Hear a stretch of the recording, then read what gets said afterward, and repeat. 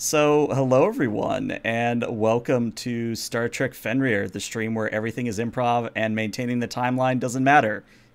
That's right, it's like, I don't know, something that doesn't matter. Uh, Fenrir is a tabletop role playing game that uses the Star Trek Adventures rule set. We're set in 2410 aboard a Cerberus class that is following in the footsteps of the USS Ophion. You don't need to have watched Ophion to enjoy this game, though you're probably going to catch a few references and subtle nods if you do. You can watch the VODs for both the Fenrir and the Ophion games on my YouTube and most of the popular podcast solutions. Now, today's session will continue to focus on temporal and omega particle shenanigans. Could be short lived, or it might take all our time. We'll find out pretty much in the next hour, two hours, three hours. Uh, last thing I have to say before I run the intro is that whatever support you can provide to the stream, whether it's a follow, sub, donation, bits, patron, talking in chat, whatever, it's all greatly appreciated. Just make sure to take care of yourselves first. And with that said, let's go ahead and run the intro and dive right in.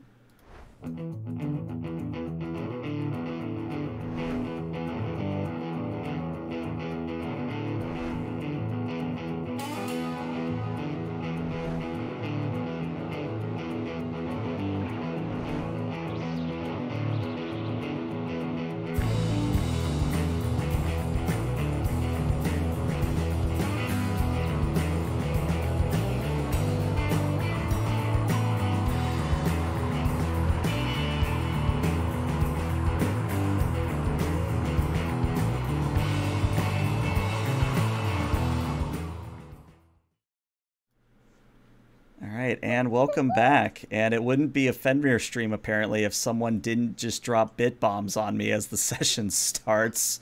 I will find you one day. I don't care what it takes. One day I will find you and thank you properly for this.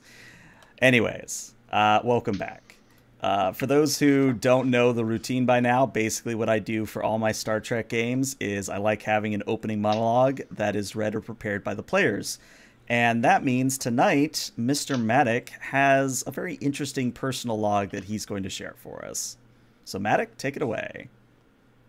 Uh, computer, begin deposition statement for Commander John Maddock, sole defendant, Temporal Investigation Department, case Maddock Alpha 28. Beginning on star date 87850.5, myself and members of the crew of the SS Fenrir, along with Space Deep Space Daedalus and the USS Nalor, captained by Captain Sin, were contacted by a Borg sphere claiming that they had performed an experiment with the Omega particle that failed and caused an Omega cascade. Supposedly, the Borg term is used lightly as it was referencing to itself instead of the collective when speaking. Uh, present were the only ones known to survive the incident. Following Omega protocols, myself and other members of the senior staff of each previously mentioned ship and station consulted and found the most logical and least damaging route to prevent the failure of the experiment was to travel back in time to stardate 87847.7. The USS Fenrir encountered a slight issue and ended up entering normal time space on stardates 52434.84 after ensuring predestination protocols and procedures were followed for the Lieutenant Maddock present at that time frame. USS Fenrir then moved forward in time to stardate 87847.4 rendezvousing with the USS Nalor and Borg Sphere. From there, the sphere opened a t- transwarp corridor and allowed the three ships to travel to the experiment location in order to prevent the Omega Cascade. However, en route, deciding to act on previously information previously gathered through other means, the USS Fenrir redirected to a system nearby that was the location of the last of its species that had been performing experiments in order to harness the Omega protocol, but also failed a month prior. It is believed that the assimilation of this ship led the Borg to perform the experiment at the Unimatrix believed to be the focal point of the explosion. Having rescued and offering asylum to the surviving members of the species in question, the Fenrir moved towards the Unimatrix to link up with the USS Nalor and to proceed to ensure no further damage to the timeline. Computer pause log. Computer begin reading over subsidized notes taken and inputted by other members of senior staff. It seems they created a chart they all agreed on. Timeline A, Borg blow up Omega, Borg go to DSD, West Aid. Matic time bullshit. This leads to timeline B, where we save aliens, blow up sphere. Uh, see things simplified. Let's hope it stays that way. Uh, computer encrypt log following expected Tempest protocols. Give status report to Captain Angeletta regarding status report on engineering. Computer end all recording. Very good.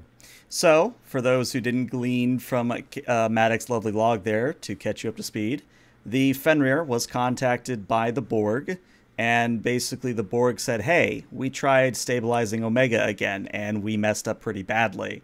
We need your help. We need the Federation's help to fix this. So, uh, a plan was hatched to send the Fenrir and the, the Nalor, another Starfleet vessel, back in time to help prevent the explosion, which reportedly was going to destroy the warp capability of anyone in the Delta Quadrant.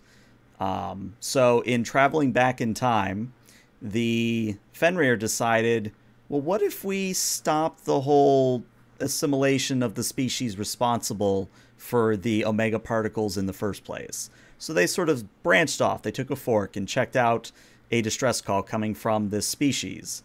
And this species is very interesting uh, specifically because they are rather unique in appearance.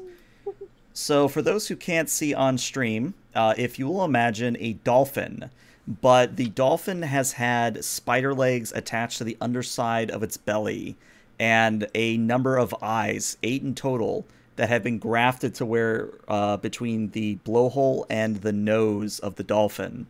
Uh, it also has uh, spinnerets and it also has, uh, I believe they're called pedipalps, uh, that kind of come out from near the jaw out towards the nose of the dolphin. Uh, rather horrific to say, uh, but all said and done, the Fenrir crew was able to rescue these interesting this interesting species known as the Zanad, and uh, destroy the Borg vessel that would have been responsible for uh, assimilating the Zanad which was interesting because the vessel that assimilated the Zanad was actually the one that came back in time to get them in the first place. So you can kind of see where timey-wimey comes into play. But uh, where we last left off, the senior staff was debating how best to proceed from here. Um, if I recall correctly, there were ideas for throwing ships into suns. There were ideas of stealing transwarp uh, coils from the Borg sphere debris, things of that nature. So as we seem to do a lot, we're actually going to start our uh, session with a lovely senior staff meeting. So, you all come into the conference room with your various insights and various ideas. And, Captain, I'm going to let you run your own meeting. okay, so the goal is to get to the coordinates where, forgive me, I forgot the name of the other ship that we're with. The Nalor. The Nalor uh, we would need to mask the life signs of our guests so they're not detected by the Borg when we get there. Of course, if they don't, if we don't have the material they need, it's not like well, they also have the knowledge of how to do it. So we really need to mask their their signals. So does anyone have solutions for that? If I may, Captain, we might uh, take a page from the Starship Voyager and their exploits in the Delta Quadrant. I recall that they transported a number of telepaths through an area of space that was heavily patrolled by hiding them inside a transporter buffer, drawing from research and experimental te- technology that had been developed by um, Montgomery Scott. I believe that he survived in a transporter buffer for almost 70 years. We could actually conceal them inside the pattern buffer of the transporter for an extended period. I don't know if uh, Commander Maddock believes that to be possible. But uh, Commander Lee, if you do any research on this species biology and you find something incompatible with this suggestion, and Commander Maddock doesn't have any objection, I say it's a great idea. Hmm. Barring that, uh, may want to consider running a high frequency subspace field around the ship to attempt to scramble their scanners. It's definitely not going to be as effective as the other idea, though. Mm-hmm. Okay. Good plan B, just in case. Maddox, were you going to say something? The only issue that I could foresee having with the having holding them in the transporter buffer is um knowing Borg technology I don't see why they wouldn't have access to something that would allow them to see see quote unquote um that we have something hidden, especially because there were what 200 of them, if I'm not mistaken. Uh, soft retcon. I'm gonna lower that number to 65. Okay, because there were 65 of them. We could hold them. We could probably hold them comfortably with no combat whatsoever. Probably for a good week, um, just to make sure that nothing of them kind of deteriorates. I would say I have to pull them out in batches, probably for at most five minutes to get them all just kind of recircled through. Um, but you know, if we take one good hit, if we lose power, we lose them, and so it's we would have to be very cautious moving forward about power usage and also be very cautious as to what systems we utilize um, to hide them in. Uh,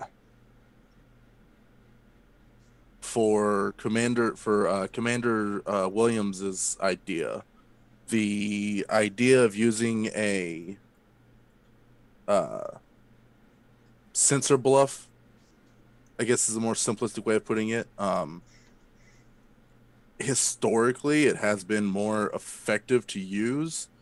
Um, the only issue is once again, Borg technology does surpass our own. Uh, seeing how their usage of technology would possibly make it harder for us to hide the fact that we're obviously hiding something. Mhm. We uh honestly in my opinion, the best thing we could probably do is find out long-term ex- I wouldn't even say long-term, but I would say exposure to certain kinds of particles and then just kind of flood the cargo bay with them enough to where it masks them, but at the same time doesn't cause any detrimental health problems.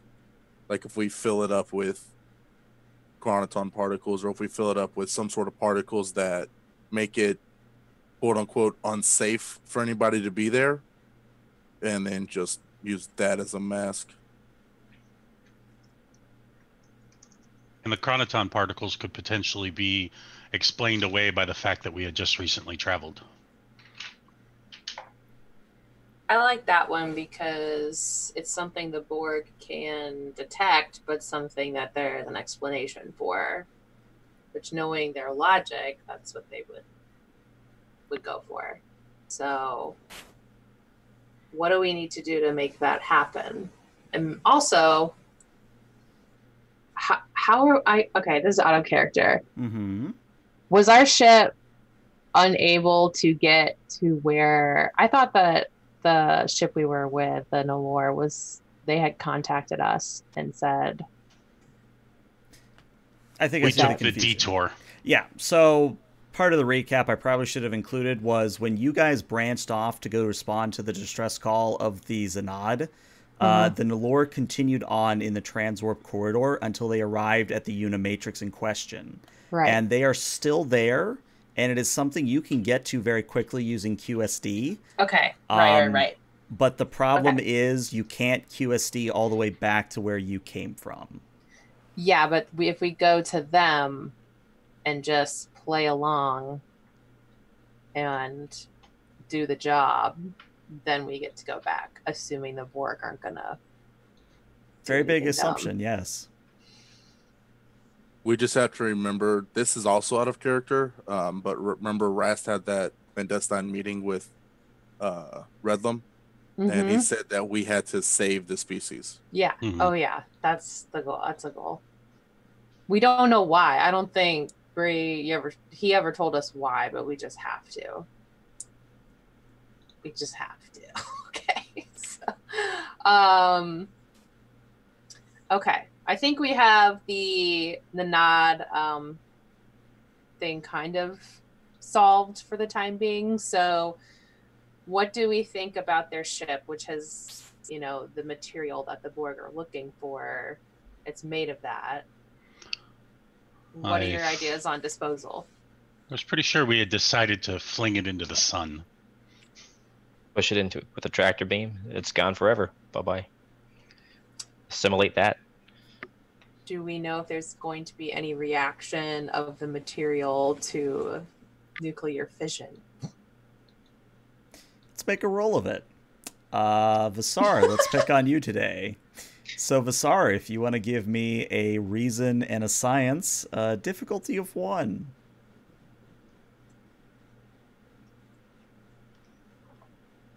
Oh, he must be talking to someone off screen.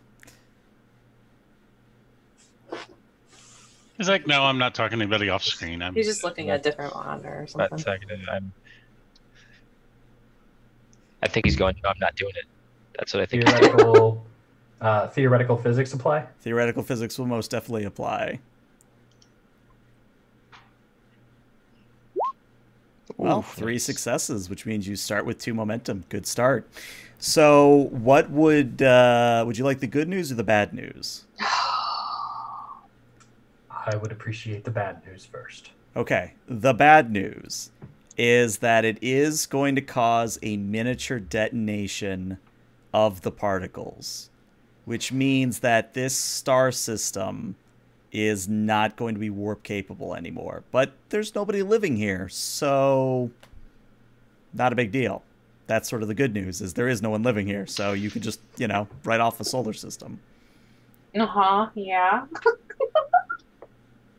So this is where things might get interesting. Um, while that te- while technically under the Omega Directive, we're allowed to do whatever it takes.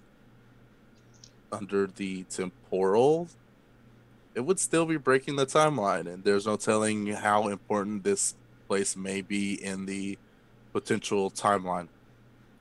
Well, is there a way to contaminate the materials aboard that ship or that that ship is comprised of to make it useless?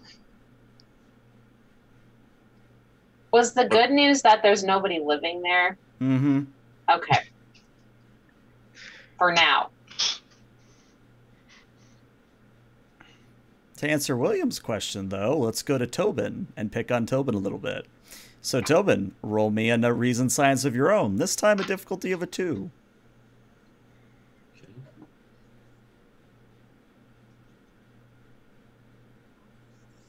Also, I, I am going you're- to use um, my augmented ability reason.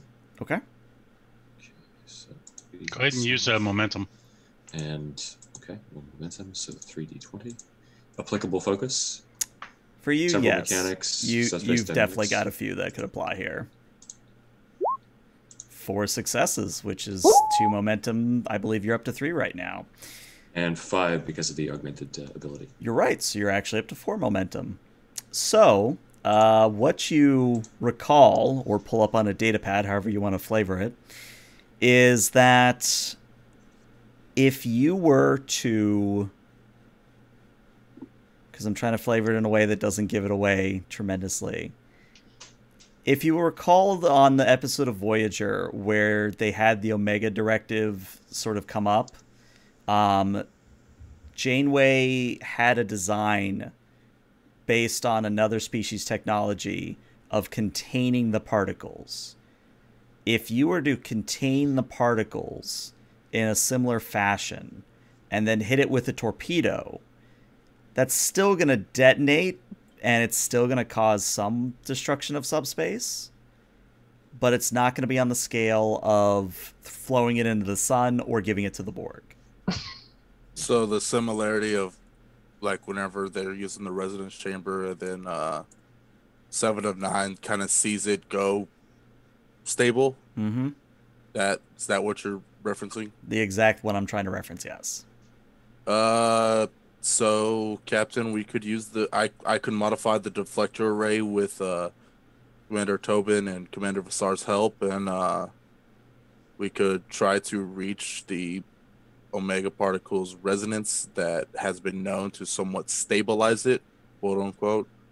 Um, and then I can send over plans to Commander Williams that would allow us to use a graviton uh, torpedo that would allow the uh, impacted area to be a much smaller section of space as opposed to it being, you know, a star system or larger. Do we have to be in close proximity to the detonation with the deflector being used? Is that a question for me or a question for Matt? I'm asking Magic. Okay. Um, I don't see why. Which even then, what we could do is, I could even modify probably a couple, maybe class four or five probes, and establish them in a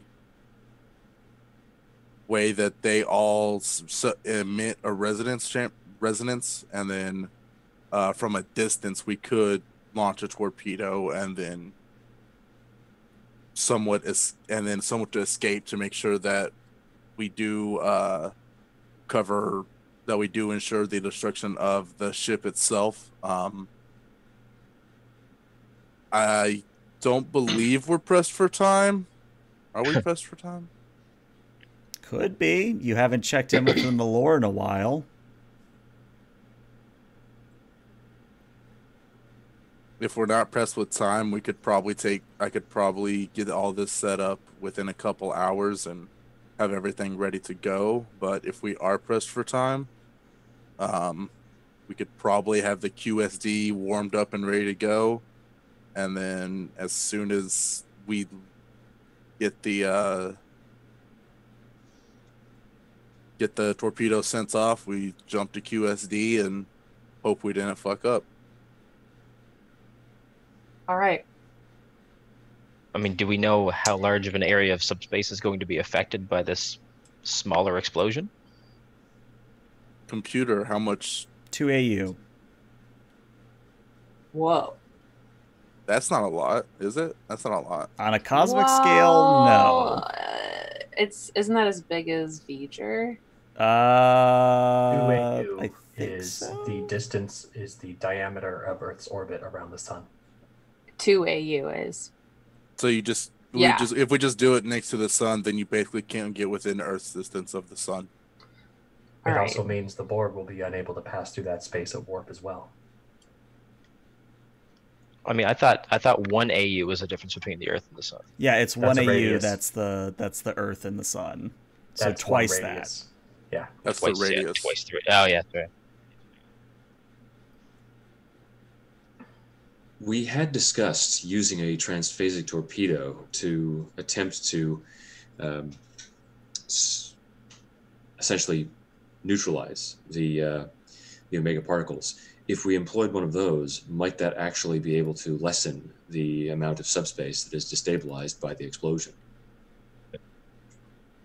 Maybe if there was some way to feed real-time sensor data from the probes to the torpedo and adjust the the frequency. Although Because the issue is is that once the transphasic torpedo would hit the uh the ore that basically is ma- that basically makes the up of the uh omega particle um the resulting explosion does hit it at several phases of uh its existence so to speak um which that's a long complicated but the thing is though is that on that explosion it'll take parts of the omega particle out of phase put parts of it into phase to where it may result in it becoming incredibly destabilized within the makeshift resonance chamber that we create with the probes so it could make it a lot better where it only goes down to like an AU and a half to an AU, it could make it a lot worse.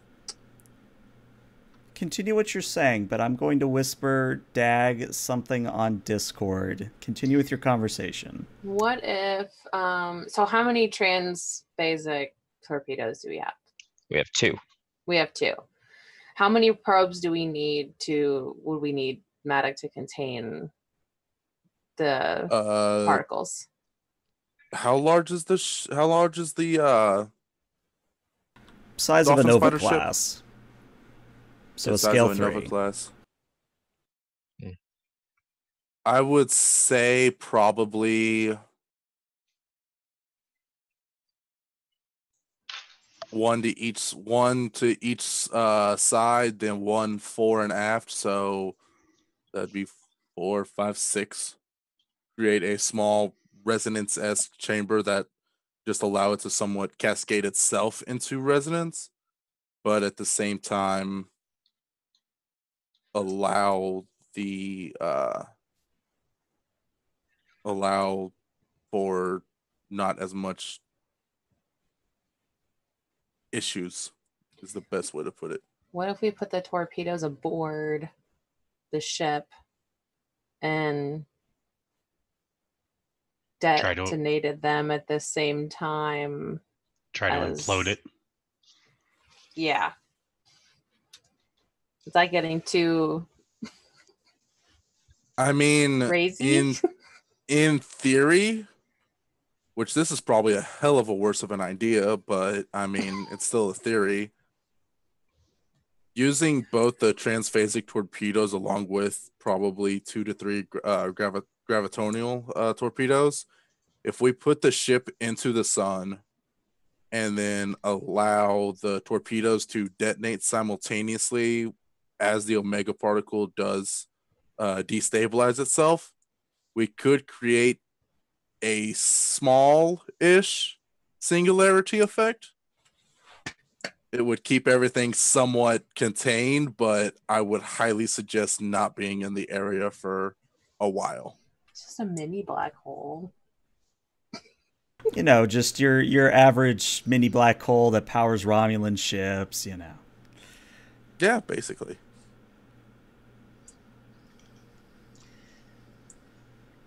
Would it be possible to also use your invention, the um, chronometric sensors, to essentially calibrate the torpedo as it is in flight in order to adapt to the changing variance of the Omega explosion? We could actually predict the series of stabilizations and destabilizations ahead of time and or calibrate the torpedo right before it impacts.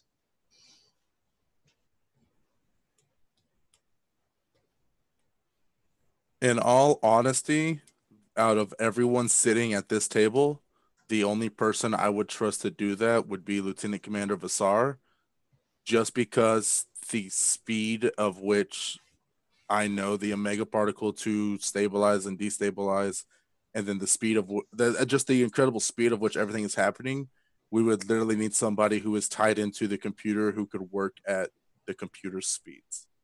if that Absolutely. is something Vassar is up to, While I appreciate the call out, I have my own suggestion. If we were to obtain a transwarp coil, we would be able to bring the boronite ship into a transwarp conduit, detonate it, and that would prevent the Borg from being able to return to DSD. Collapse the passage.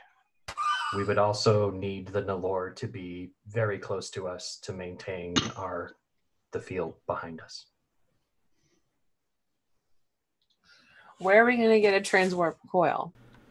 there's a Unimatrix a day's ride from here. Just because I find it funny, you all look out the window at the debris field of the sphere you blew up Mhm. earlier, and it just slowly That's- drifts into frame. That's what I was saying. Is are we? is there a coil out the window right now? Like, is that?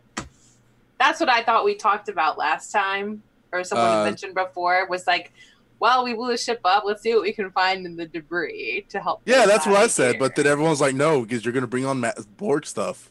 well, you can't do that, but you can help us. You're not gonna put our former crewmate's head on a Borg body. It's just not gonna happen. Why not? One word: Uh, nanites. Matic to uh, transporter chief. You're Sir- muted. sorry, I'm muted. Uh, you've reached Jensen, sir. How can I help you?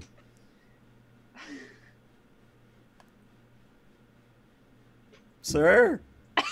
What? Just. How are you feeling today, Jensen? Uh, good. How Scale of one to ten. maybe a six?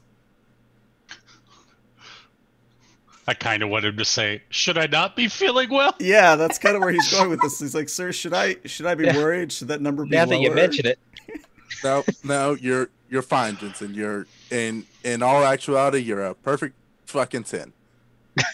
Sir, I normally am the one that comes to other people with my problems. Shush, are are shush, you okay? Shush. Yes. Should I send uh, the, the the doctor up to you? There's a doctor sitting right here in this room. Do a scan. Hold on, is it Tobin? Is it Lieutenant Commander Tobin? No. Because if it was, I wanted you to tell him that I've downloaded every single Bajoran book about the prophets, and I am reading through them at this very moment.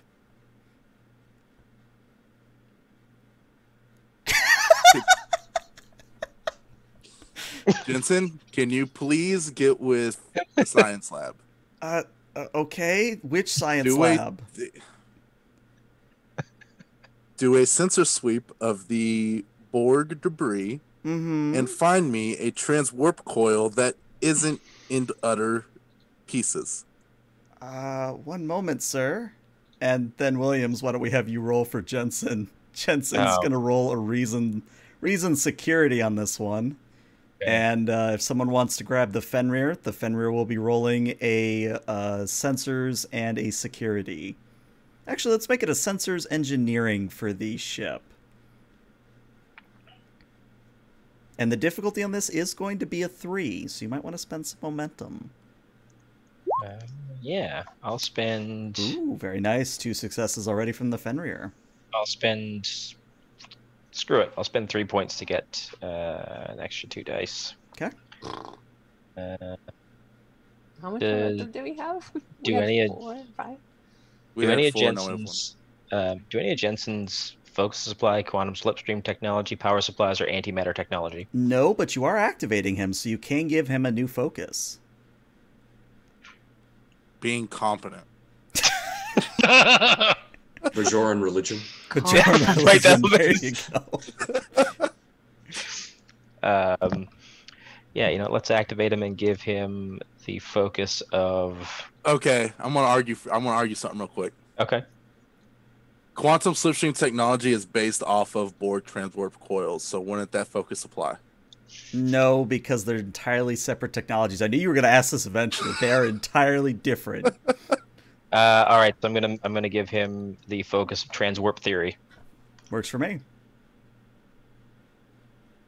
All right, Jensen, bring it home. Show us those successes in before all zeros. Actually, we would want zeros. That's good. Oh no, we want. Okay, so that is a total of four successes, which brings you up to two momentum. So, uh, Jensen does his scan and says, uh, I, I found some, sir. How many do you need? One, two, How many did you find? three? Just bring all three of them aboard. So put Uh, them in engine. Put them. I, it, that's the sticky part, sir. We can't get a transporter lock on them from here. Um, we, we need to send someone over, an away team over to put transporter enhancers on them. Congratulations, Jensen. You just volunteered. Sir, I'm suddenly feeling like a two. What about worker bees? Would we be able to take a shuttle? That's what I was considering. Was shouldn't shouldn't we be able to just take a shuttle, and just tractor beam them over, or even open up a cargo bay and then just kind of worker bee them in? How So- big are tra- transwarp coils? Aren't that big? They're not that big, but what Jensen is about to tell you, I'm going to say out of character because it'll make more sense if I explain it out of character. Um, what Jensen says is that the transwarp coils are in intact portions of the sphere remains, meaning that you would have to literally go into those sections and extricate the coil or slap a transporter enhancer on it and then beam it out. Jensen, can you please scan to ensure that there are no active Borg in the areas where the transwarp coils are? Sir, I can confirm that there are many active Borg near the transwarp coil. This just gets better and better. Is that the captain? Is she mad at me? Because I'll go down to a one. You're doing fine. She almost she almost gave you a medal earlier, okay? Don't Just tell him that. Why are you telling him that? You need him happy right now. Okay? We need him sections we need him which- smiley and we need him at a 10. the, the the section with the least amount of Borg. Uh, of, of The course, sir. safest section to go to. Are those Which sections section is captured that? with atmosphere? Those sections do have atmosphere, yes.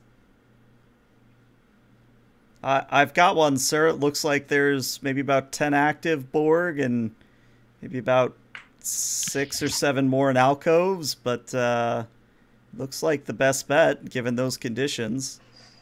Okay. Once we have this, can we just fly? Can we just go home?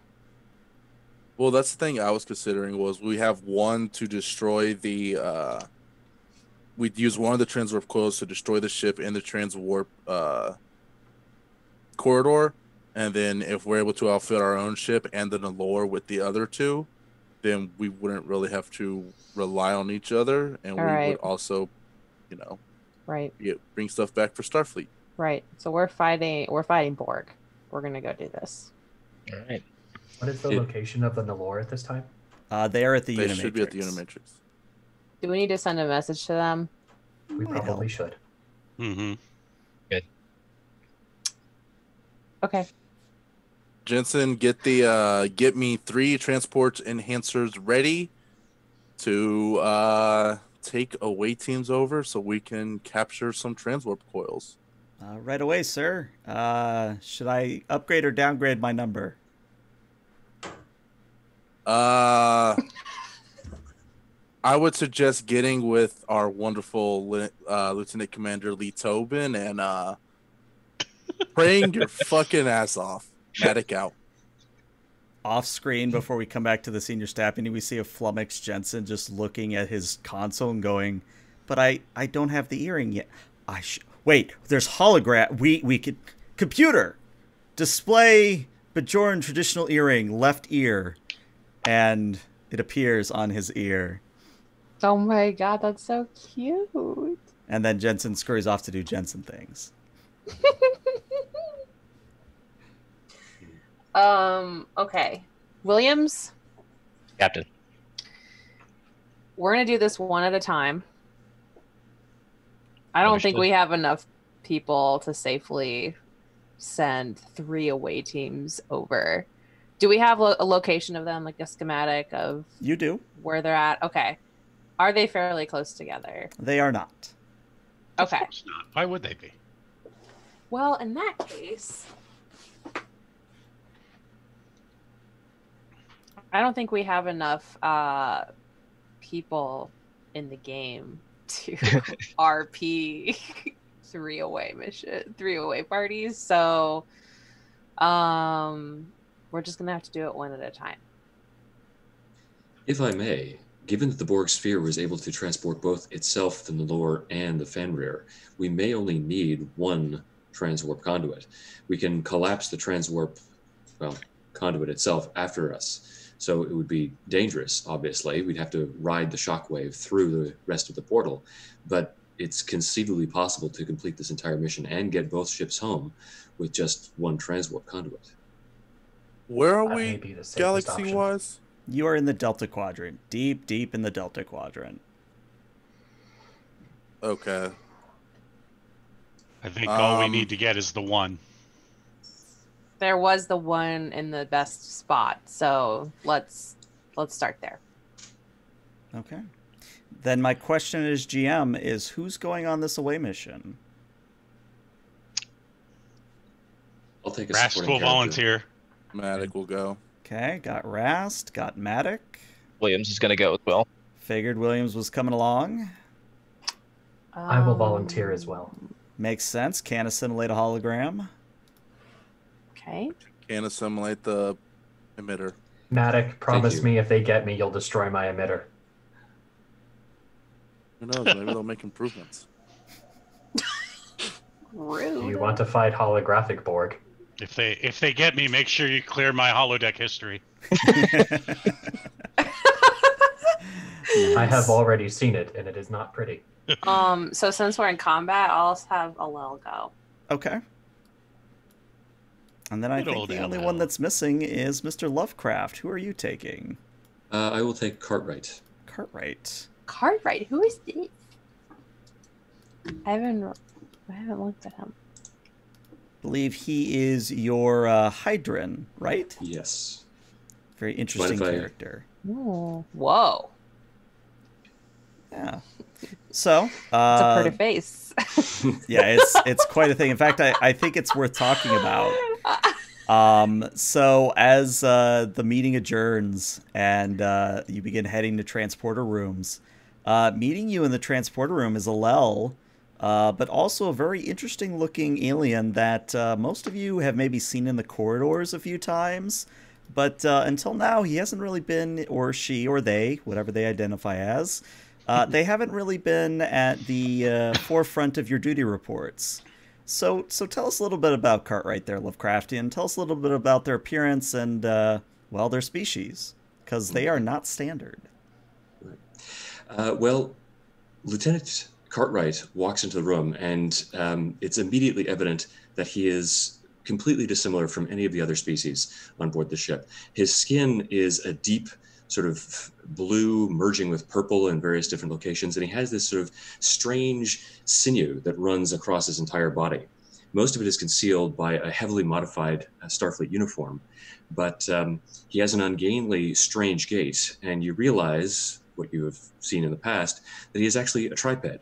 He has two legs that stick out at the sides at odd angles because his hips have sort of been displaced or moved backwards from the standard humanoid biped. And he has one leg emerging from uh, behind him. And he sort of waddles in. He's incredibly squat, but almost as wide as he is tall. So he's only about five seven, but um, he's incredibly thickly built. He has long clawed fingers and an elongated face that is tipped with almost like the mandibles of an insect, these large, um, almost talon like fangs that open and close like pincers. Around his mouth is a kind of uh, transparent aluminum shell or shield that arcs upwards into a mechanical device that encircles a strange flesh like fringe uh, at the top of his head. And he has three eyes uh, that are yellow, they're on short stalks, and the third of which emerges from the middle of his forehead. Um, he walks up towards Commander Rast, and um, he opens his mouth, and a sound emerges from it, kind of like a cross between metal shearing and the tone of a dial-up internet connection. Starts back, and he takes a large, thick, clawed hand and jams at the mechanical device uh, alongside his skull, clears his throat, and then speaks.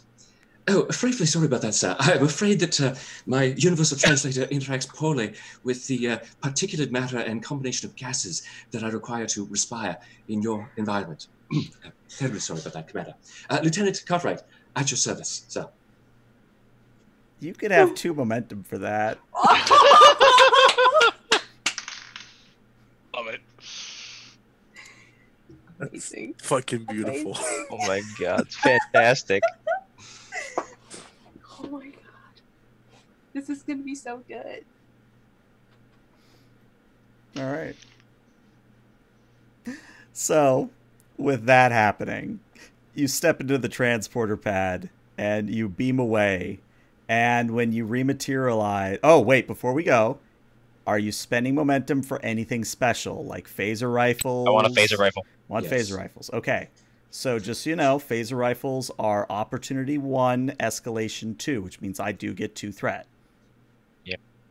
Yep. But the good news is that it's one spend for the entire away team, so everybody gets a phaser rifle. Saddle up. If I You get a phaser med rifle, kit- and you get a phaser rifle. Uh, actually, Is that Alel, standard? yeah, Alel gets it standard, and Matic gets an engineering standard. If I might suggest, we may also wish to take melee weapons.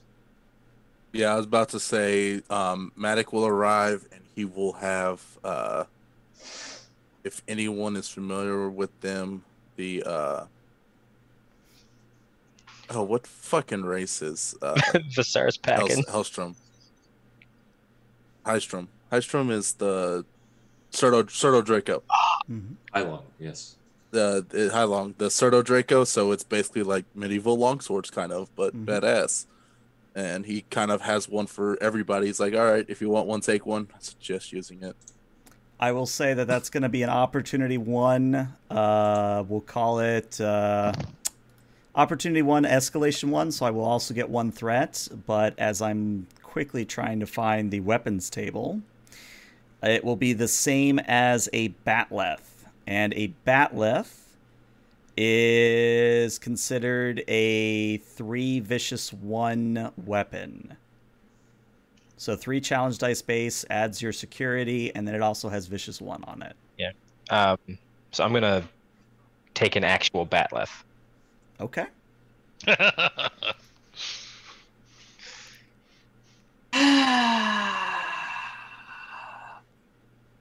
So it's war trophy. what's the what's the actual weapon in the table? Uh, the actual table Bat'leth. is a bat'leth. It is a heavy blade, so you could do a bat'leth, a lirpa, a Ah, katarkin. love lirpas.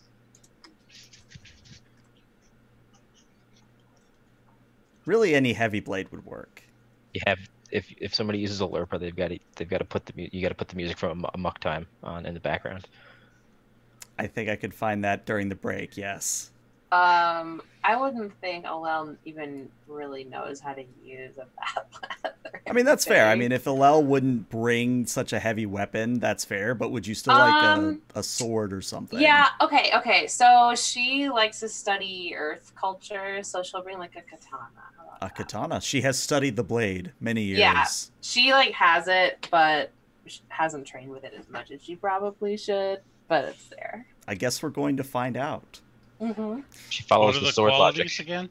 Uh, the quality on a sword on a heavy blade is three challenge dice base with a damage rating, uh, or sorry, a damage effect of vicious one, which, as a reminder, means that every single effect rolled is an additional uh, a point of damage. And if you want to take something that isn't a heavy blade, so like a, a katana, that would be two challenge dice, vicious one. So just one less. You know how there's like that retractable one in Star Trek 2009? Sort Oh. of, yes. I mean, Not if like you, that. If you I want like. one, I don't like that personally, but um, I just wanted to point that out. That that's in canon. Well, maybe not our canon, but we play fast and loose with canon. I mean, how many times have we blown Yeah. up the temporal prime directive? I Mhm. mean, Every session so far. mm-hmm. All right, so everybody's got their weapon of choice, yes? Yeah. All right. So we are going to cut to you all materializing within the Borg infrastructure, or what remains of it anyway. Now, for anyone who's not familiar with Borg infrastructure, imagine what is essentially a beehive, a technological beehive. And the corridors, such as they are, are very dimly lit. And every pretty much interspersed throughout these corridors are alcoves set into the wall. And in those alcoves are Borg drones. Uh, they are regenerating or otherwise repairing and the atmosphere is smoggy. Uh, it has poor visibility, and it's very muggy, very hot. And you can actually look uh, behind you as you take kind of come down to your senses. You look around. If you look just at the right angle, you can actually see uh, literal space that is being held back by uh, force fields that is more or less keeping in the atmosphere that is sustaining not just the Borg drones, but now you all. And as you again sort of come to check your your person, make sure you came with everything, um, one of the Borg drones activates and begins heading in your direction. What would you all like to do? Um, don't engage. step out of its way. Yeah. hmm Smart move because what the Borg drone does, as long as you do not impede its progress, it simply walks past you and continues on to another part of the corridor. Um, GM, can I use my tricorder to scan to see if the bits of Borg sphere are attempting to regenerate? You certainly may. That would be a reason security difficulty of one.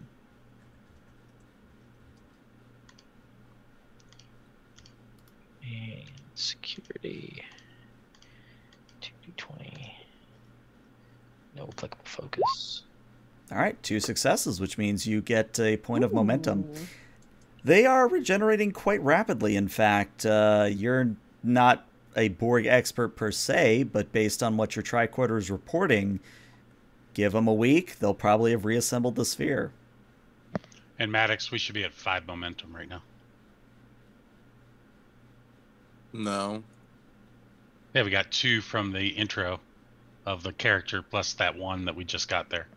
And then each opportunity cost weapon is one momentum. Oh, okay. yeah, yeah. That's That's, Didn't we get two for Lee We, so we had so we had so the two that we got from Lee Tobin stuff. Uh, one was one was spent for the opportunity one to get the uh, phaser rifles. Mhm. The other Blades. one was for the blades. Yep. Okay. So Okay. now we're up to three. Um, but yeah, I will share my tricorder data with uh, commanders Rast, Matic, Vassar, and Lieutenants Alel and Cartwright. Uh, so they look to be pretty busy right now. Maybe the best opportunity we have.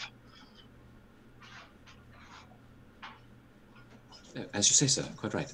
I would agree. Let's get toward get toward our uh, objective and get out of here as quickly as possible. What direction? well, to answer that, we're going to go to Mr. Vassar. So, Mr. Vassar, if you would kindly roll me a reason science. Also, I'm loving. I you. just noticed it myself. His tactical visor. His tactical visor. I love it. Uh, if you were to roll me a reason science, uh, you would have a focus here, and the difficulty on this is going to be a two.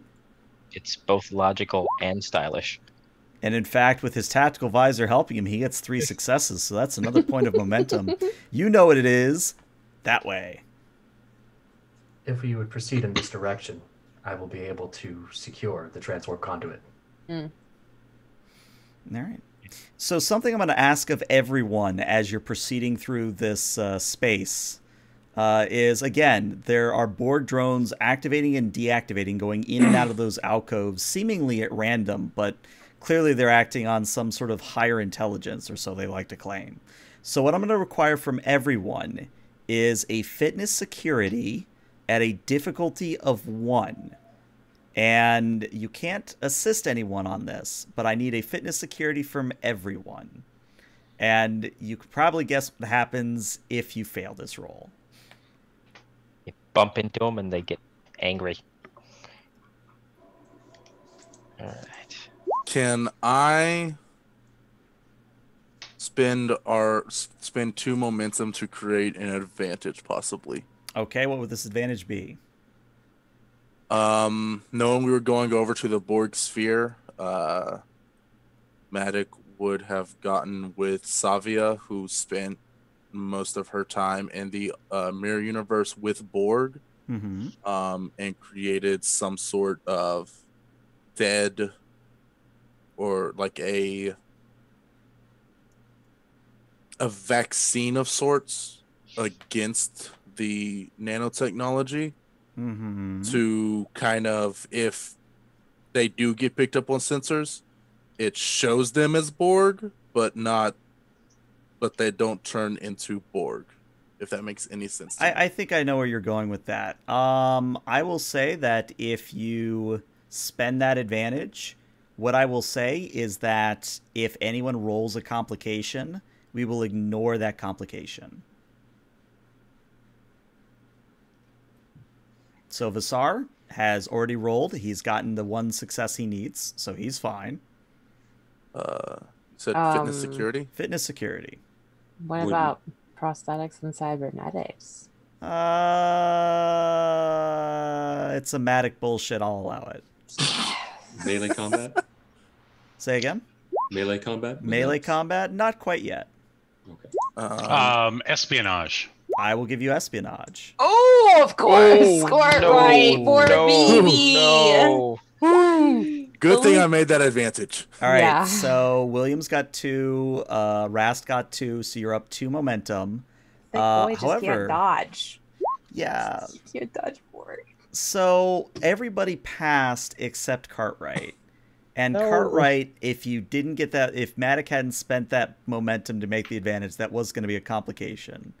So what happens is Cartwright, as the away team is proceeding down the corridor, uh, sort of through the haze, you maybe you know start to comb it away or do one of those. Uh, I hate to call it human things, where you try to you know see a little bit better by getting rid of the gas around you, and in the process, you accidentally swing your arm too far, and you touch one of the drones that is in an alcove, and it immediately jolts out. The arm jolts out and grabs onto yours.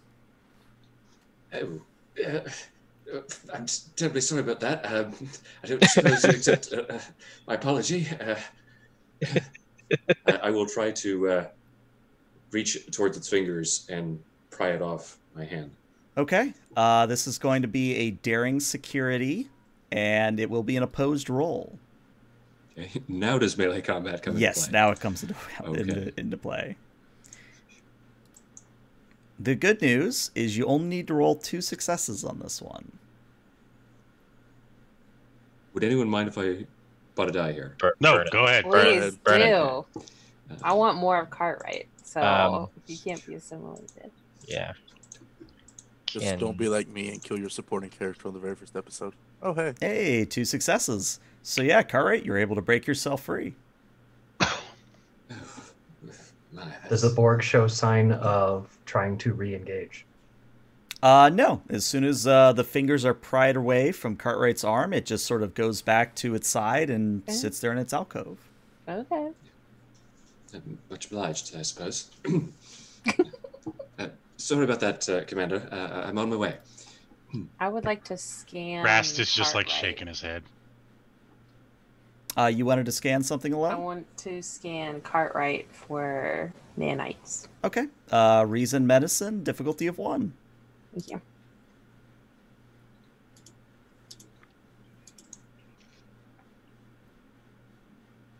Uh, prosthetics and cybernetics. It would indeed, yes. And this also counts as an activation, so you can give her an additional focus, a value, a talent. Okay.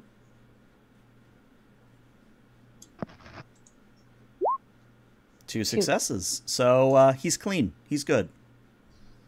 Okay, she's gonna do the scan and then say close one, and then pat him somewhere on what would seem to be his shoulder. Be more careful next time.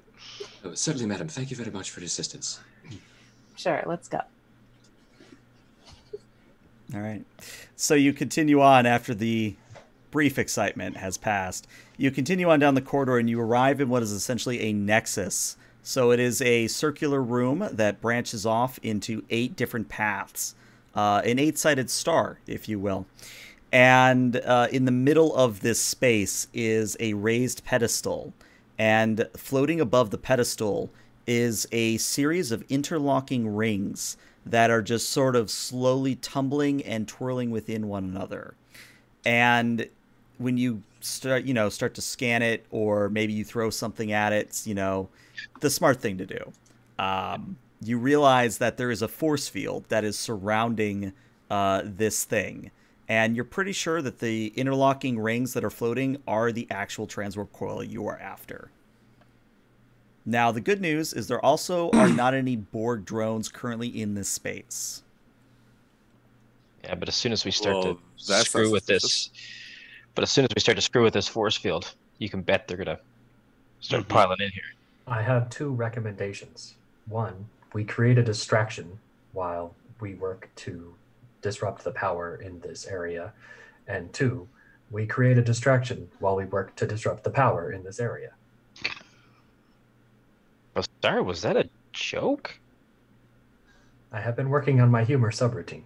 Good timing. Well, if you're the hologram, then you can just appear and then leave, and then appear and then leave. So you should create the distraction.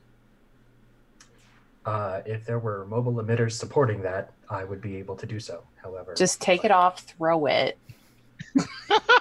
It's just- That's fantastic.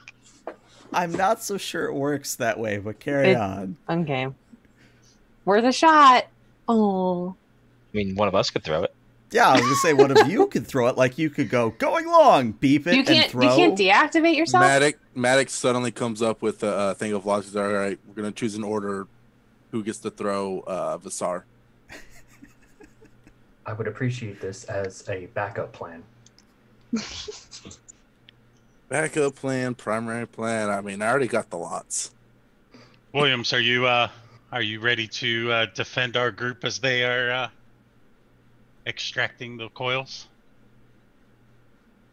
Think I can manage, Commander? You and I can handle it. Everyone else, get that coil out as quickly as you can.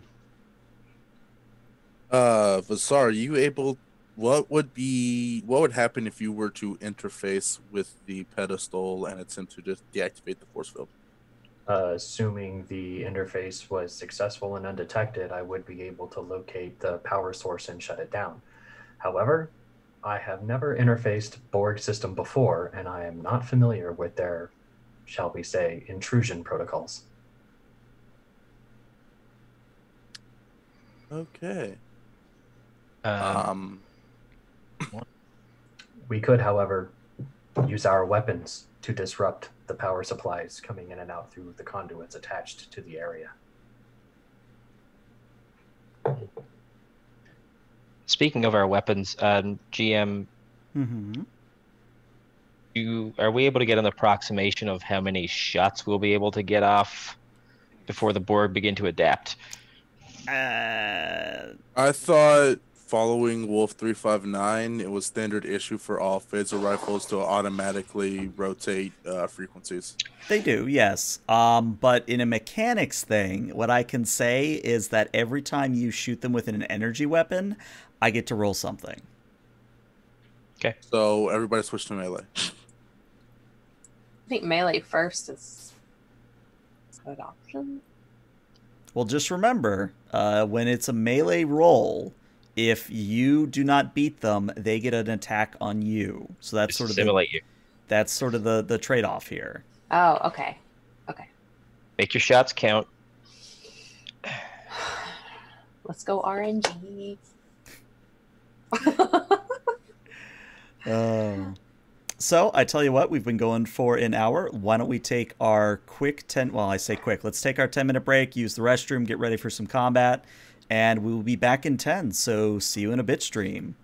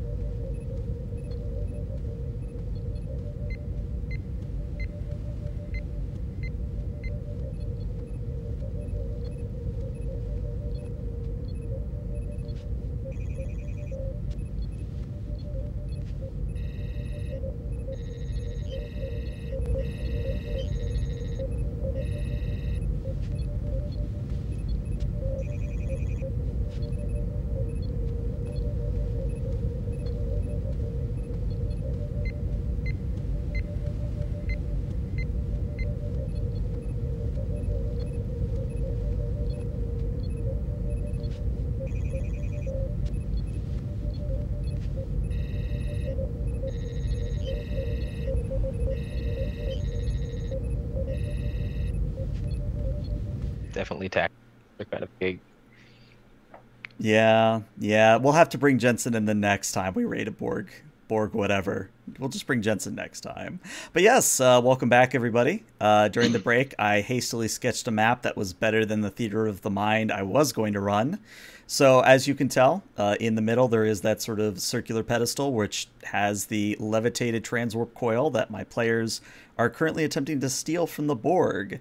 And spiraling out from this pedestal are eight corridors, which, as a certain Williams put it, are just way more ways the Borg can come at you. Uh, but at the moment, uh, none of you have caused the Borg to really care that you're here. So, what would you like to do? How many power conduits are there leading to the pedestal feeding the force field? Uh, there is at least one per uh, spoke of this wheel, if you'll imagine it like a wheel. And some have multiple. Uh, in all, there are a total of 17. Commander Uh, yes. Are there any larger? I believe I can use my neural interface to uplink with the cube and shut down the force field sphere. Okay. Do you believe that by shutting that down, there would be any lasting, if there would be any effects to the current atmosphere or force fields that are holding up, the that are holding in the atmosphere? That depends on what security procedures the Borg have around uh, specially requested shutdowns of their force fields.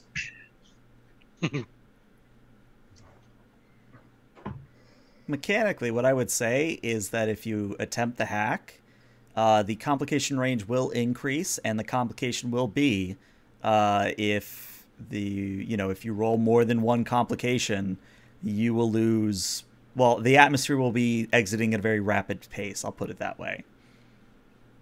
So Vassar still won't care because you know hologram, but the rest of you might care just a little bit. What's like the time it's going to take us to do this without just hurry with just hurrying through it? We, we may wish to set up the transport enhancers before attempting this procedure and have an open comm line with the ship should atmospheric de- decompression occur we can beam you to safety Definitely. Okay. So uh, p- go ahead and ping. Where would you like to set up the three transporter enhancers?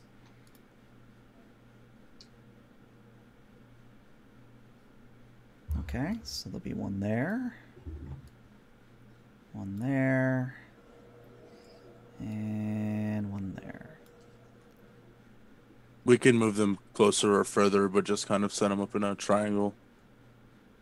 And I just realized I'm on the GM layer, so you can't see any of that. Hold on. Oh, There we go. Now they're on the token layer.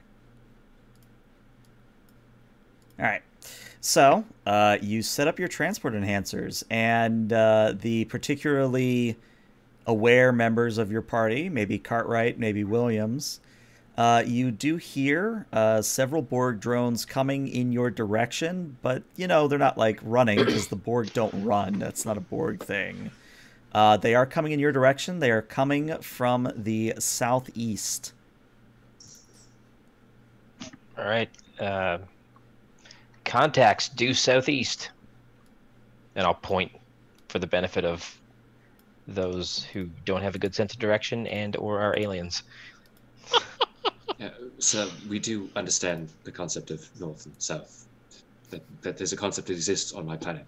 Uh, n- nonetheless, this is probably not the best time to engage in such conversations. Uh, Shut it down, just- Cartwright. We got work to do. Of, of course, sir. Vassar, if you want to go ahead and uh, interlink, I'll attach my tricorder to your emitter and uh, I'll monitor your progress. uh, if the safety go off above 30% uh, this is the manual switch to shut me down before they hack the emitter All right. here goes nothing All right. So this is going to be an extended task. Uh, I don't have a fancy graphic for this, so I'm quickly typing it out in chat. Um, but basically, uh, this extended task is going to start at a difficulty of four. It's going to have a work track of 14, and it will have a resistance of two, which means that uh, You're either going to need to spend momentum to get rid of that resistance, or you're just going to have to roll really, really well on your uh, your rolls. Are there any objections to me spending momentum? No. Absolutely not. So this is going to momentum that I can spend? be uh, for you. This is going to be either a daring engineering or a daring security, and with your new focus, it would most definitely apply. Can I assist seeing as I'm overwatching the whole thing? I would say if you were to assist him, the complication range would increase by one. And I'm going to spend some threat here to make the initial complication range before you decide whether you're assisting or not in 18 to 20.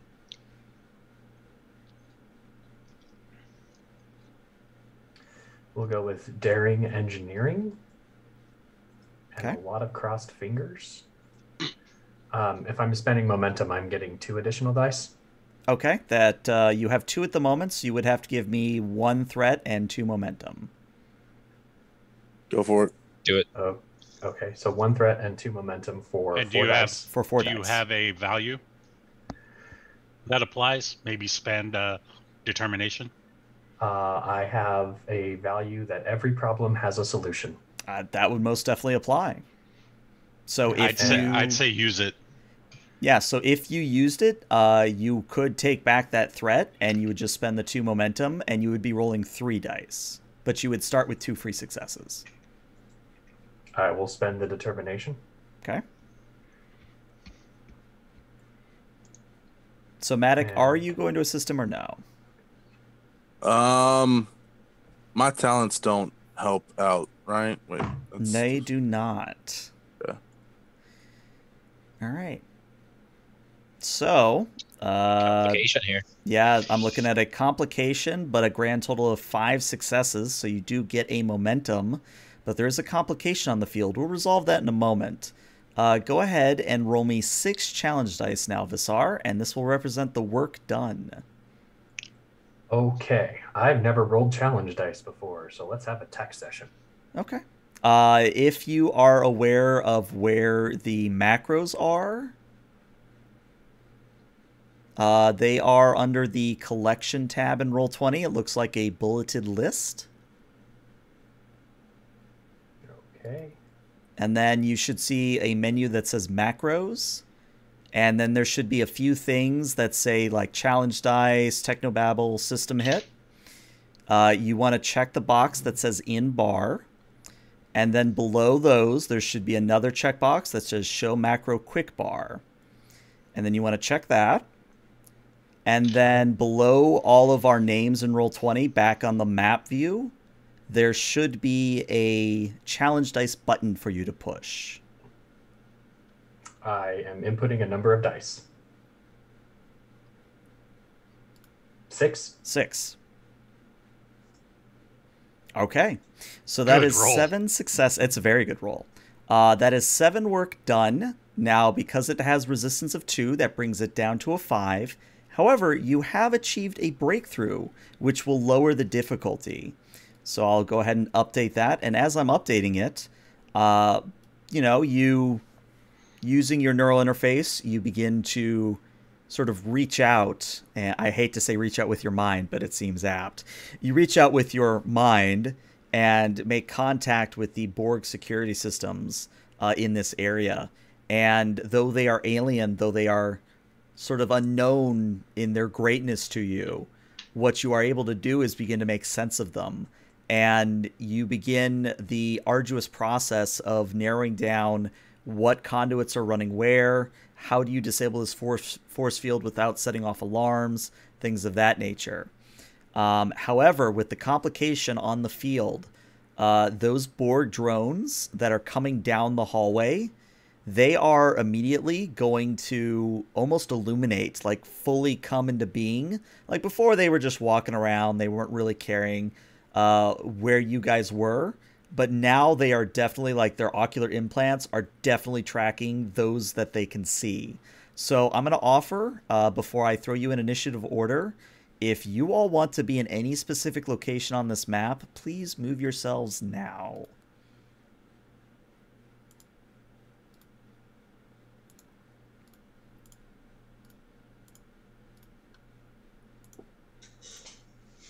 I feel like we should still watch the other corridors. Like, what's the line of sight?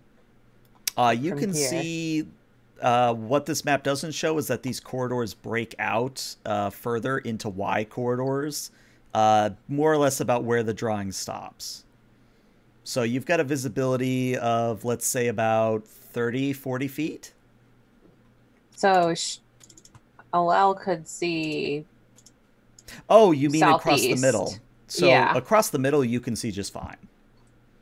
Just remember, though, that that circle in the middle is a force field at the moment. Okay, so we got one, two, three up there.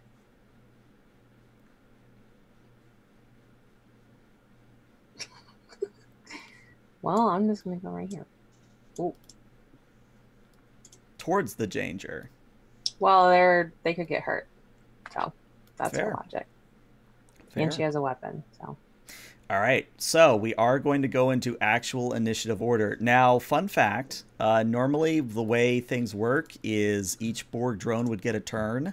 But uh, let's let's be honest here, they're Borg. So every single turn you guys act, the Borg drones get a turn. So just keep that in mind. So it is the player's turn first. Which among you would like to act first?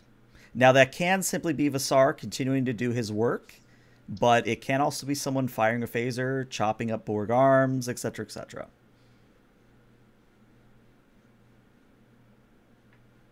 If Vassar does his work and gets some done, we could do Williams. Don't you have quick to action?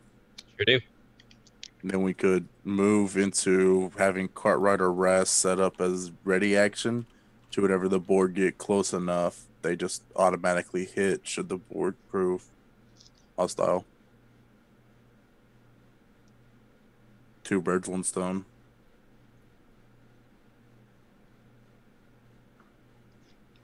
I think that sounds good to me.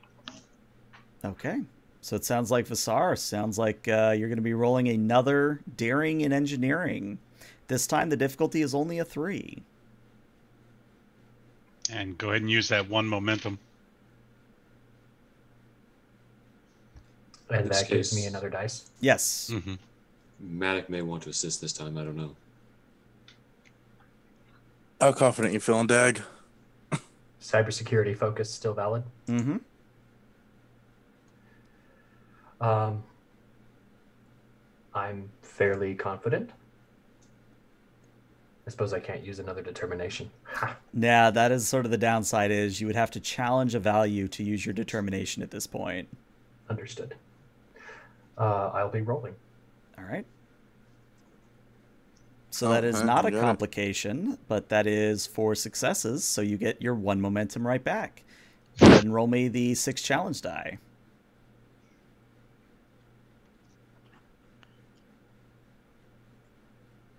So that is five. Uh, what you could do with your momentum or threat, uh, you can give me one momentum to reroll those zeros. Uh, you could give me a momentum to ignore two points of resistance. Uh, you can also use a momentum to add one, like one static point. So one momentum for one additional work. Uh, I would say re-roll the zeros or or uh, resist the two. Either way, you get the breakthrough.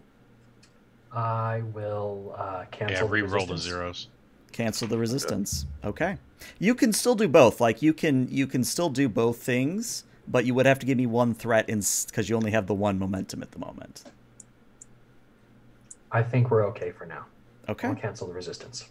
Okay. Um, so good, good, nice Yeah. job. so Um, that so I- lowers difficulty to two. The, okay. Yep, yeah, I'm already updating it. So, Vassar, you push past your earlier trespass where you maybe tripped a minor alarm, nothing super serious, uh, but something enough that it probably has heightened the Borg security level in this area. Um, now, I have good news and I have bad news, and I've got this threat sitting here. So, you try to disable the alarm, and in the process, uh, Matic uh, a tubule from the ceiling begins jetting hot air, hot steam right into your face.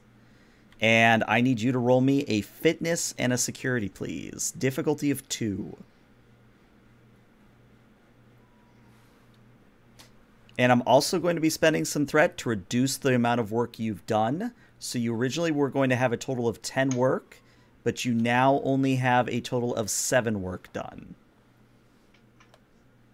Basically, this is to keep you from just completing the work track and winning outright, kind of a thing. What's the uh difficult? You said there was two difficulty for me. Two difficulty, yes. Don't have a focus unless I want to try to bullshit. Nah. Hey, All right. You're, two you're not bullshitting. Damn.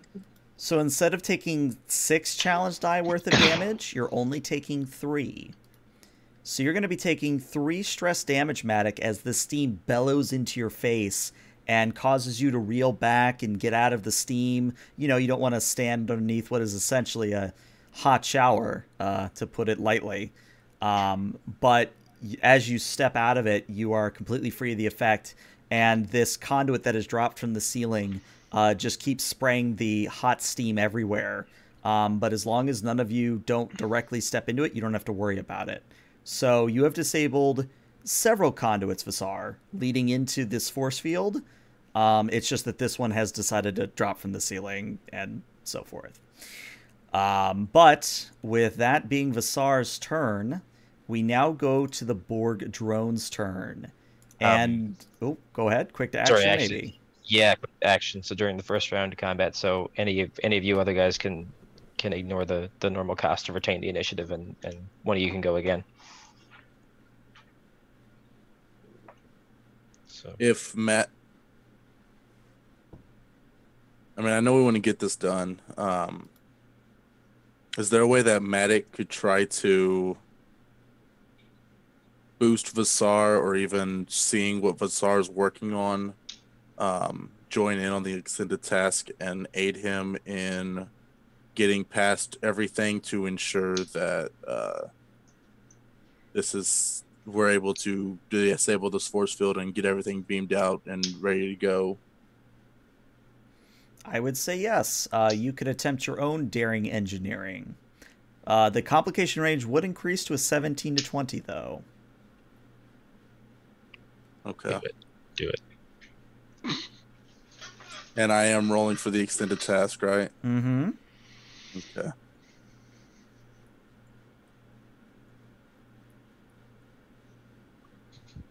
So daring engineering, uh, alien technology, or power systems. Yeah. Yeah. yeah. That is just the best blanket. Um,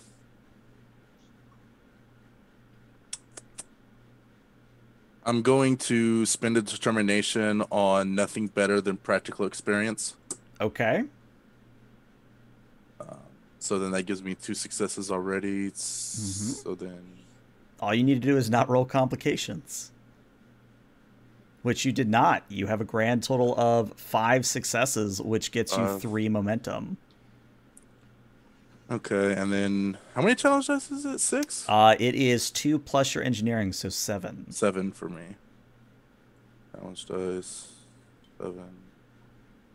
Um. Okay, so this is why he does this. Why he doesn't like me doing extended tasks. Uh, I score one additional work for every effect rolled. So that's Mhm. six, seven, eight, nine, ten, o- ten work. Mm-hmm. Um, whenever I use engineering on an extended task, if you achieve a breakthrough and roll at least one effect on a challenge dice, you achieve a second breakthrough. Mm-hmm. So with after resistance, that's eight work and two breakthroughs. which is enough to complete the work track. And yep, that's two breakthroughs. So, uh, Matic, you see what Vassar is doing, and you are able to chip in. And sure enough, after a few more moments, the force field drops very noticeably. And now you are simply confronted with the smaller pedestal inside, which I'm trying to grab and get it. It's not dragging properly. I'll just draw a new one. Uh, but the pedestal with the transwarp coil uh, is now supposedly right in front of you. Um, however, the moment this happens, alarms begin sounding like a, a Borg klaxon uh, begins sounding.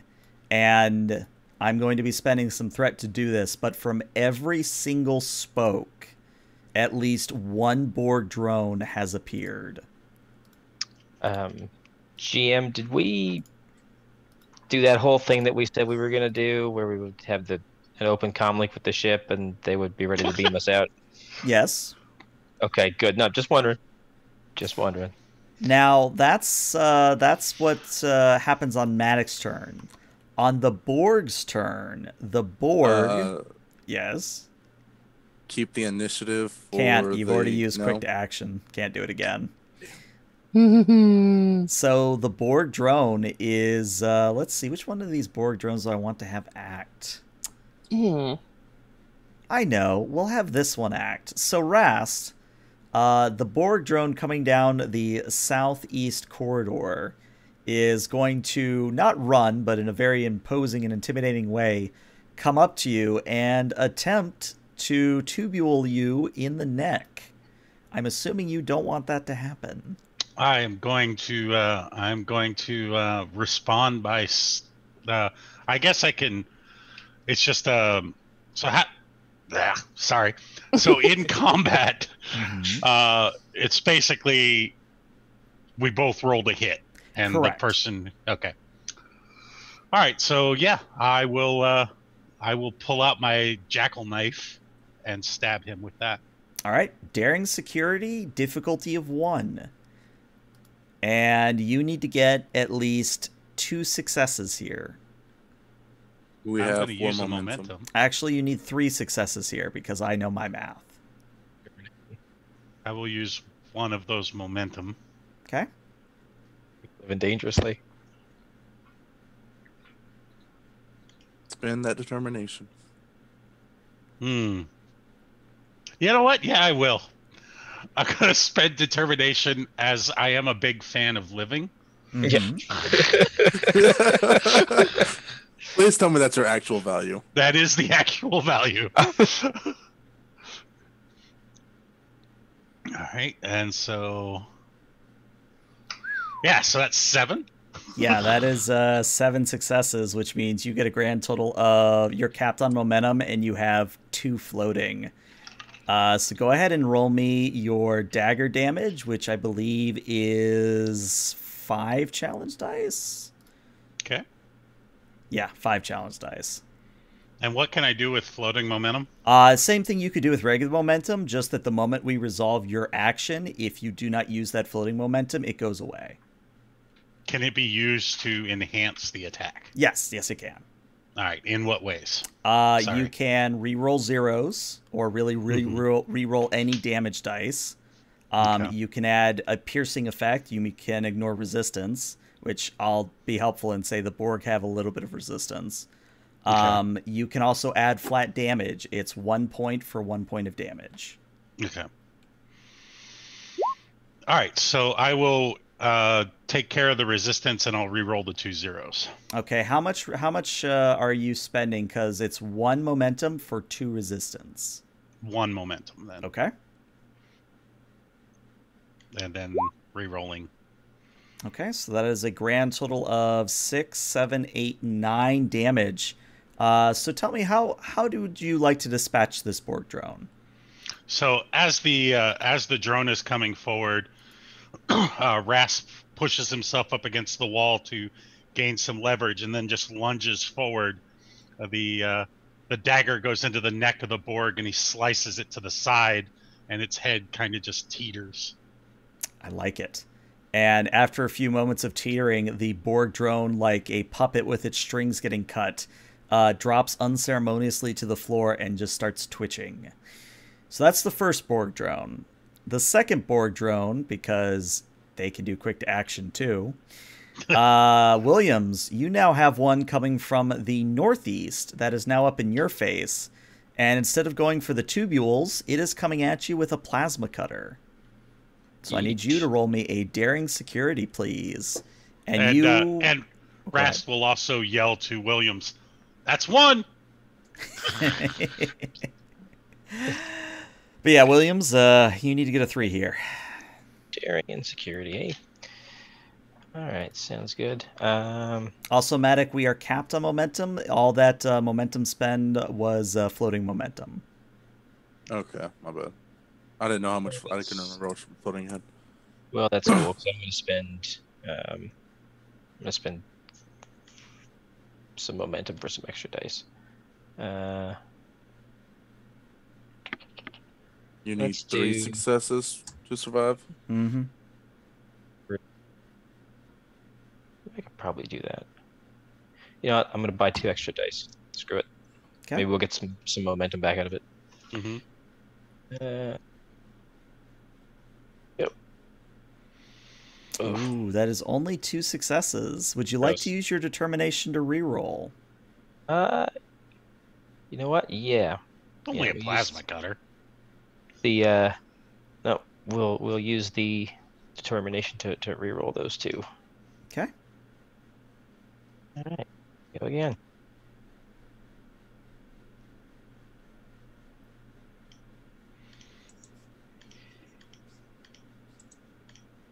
Oh dear. So you succeed, but there's a complication on the field. So go ahead and roll. Uh, what you decided to take an actual bat'leth. Yeah. So you are going to be rolling uh, eight challenge die. And I have the perfect complication in mind. So describe to me how you're dispatching the Borg drone. How are you showing up Rast?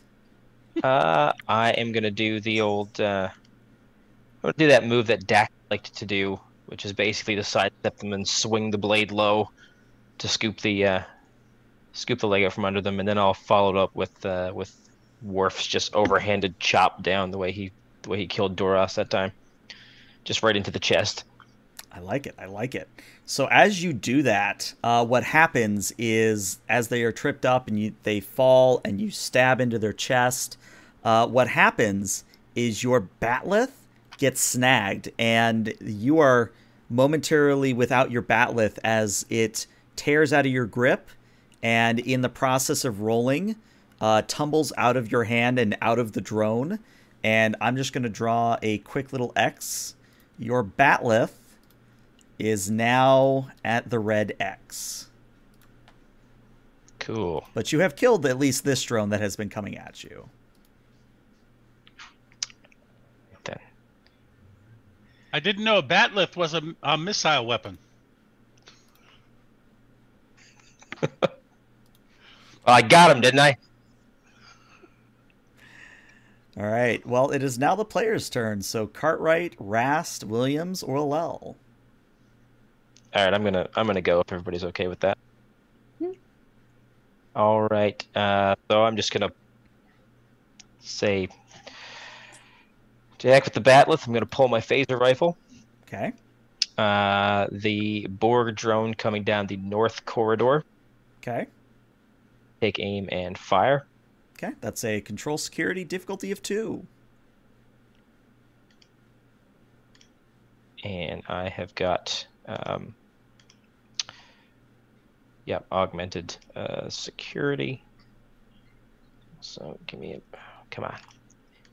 Won't spend any momentum for that, and uh, I guess my do my does my focus for hand phase apply to rifle as well? It does, yeah. Hey, three successes, which means you get a momentum. And yeah, uh, go plus ahead. the and- plus plus the additional success, so that's So it's actually uh, five momentum overall. And a phaser rifle is four plus your security, so nine challenge dice. Uh, and I know I didn't say this beforehand, but could I have used the? Can I use a minor action to um, to aim? Yes, you can, but that would re-roll. That would let you re-roll a dice, unless you have a talent that you're trying to tap here. Oh, ac- yeah. no, I thought it let me re-roll challenge dice if I wanted to. Uh, no, it lets you re-roll. Oh, that's right. Never mind. No, we don't want to. Don't want to mess with that. But what I will say is, if you use your minor action to charge, Charge. Yeah. you can add the vicious one effect. Uh, well, let's do that then. Okay. So you pull out your phaser rifle, aim it down the corridor, and fire it at the drone, and it impacts center mass. And with a shower of sparks, it falls over backwards, dead. Uh, well, maybe not totally dead, as its components continue to whir. Um, but I now have to roll to see if the Borg have adapted. And unfortunately, they have which means for the rest of the scene, all of your energy weapons are useless. No. But of course, you don't know this quite yet. I'm, I'm saying it mostly to help you guys out. Yeah. um, so we're we're actually going to find that out now uh, because I've got the fire at will talent. I'm going to get the uh, swift task momentum spend Okay, so that's two momentum. uh, to uh, make another attack at uh, at the Borg coming down the northwestern corridor. Okay. And because it is a swift task, uh, it is a difficulty of three.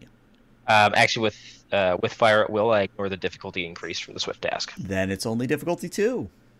Hey, let's see what we got. I mean, not like it's going to matter anyway, but And, you know, we're playing it out. narratively, Plus, you could get momentum. Focus. Hey, you do indeed get momentum. So don't even roll the challenge dice, but as you fire your phaser rifle, um, it again in center mass, like you are a dead eye marksman. Um, however, when it almost reaches the Borg drone, a shimmering transparent field uh, appears right before it would impact the drone, and with a joosh kind of sound of effect, the phaser blast is disrupted and dissipated. Um, yeah, I'm just going to yell out. Uh, I've adapted. That was fast. All right. And that is uh, all Williams can do, I believe. So it is now the Borg's turn again. And uh, hey, Cartwright, how you doing, buddy? Oh, uh, well enough, sir. Thank you. Well, you're getting a Borg drone. And your number to beat here. Oh dear. Uh, your number to beat is a six, Ouch. What? which I don't think that is technically possible, even because you're a supporting character. Yeah, I don't even think it's possible. Kurt- I'm not even Right. gonna try. No.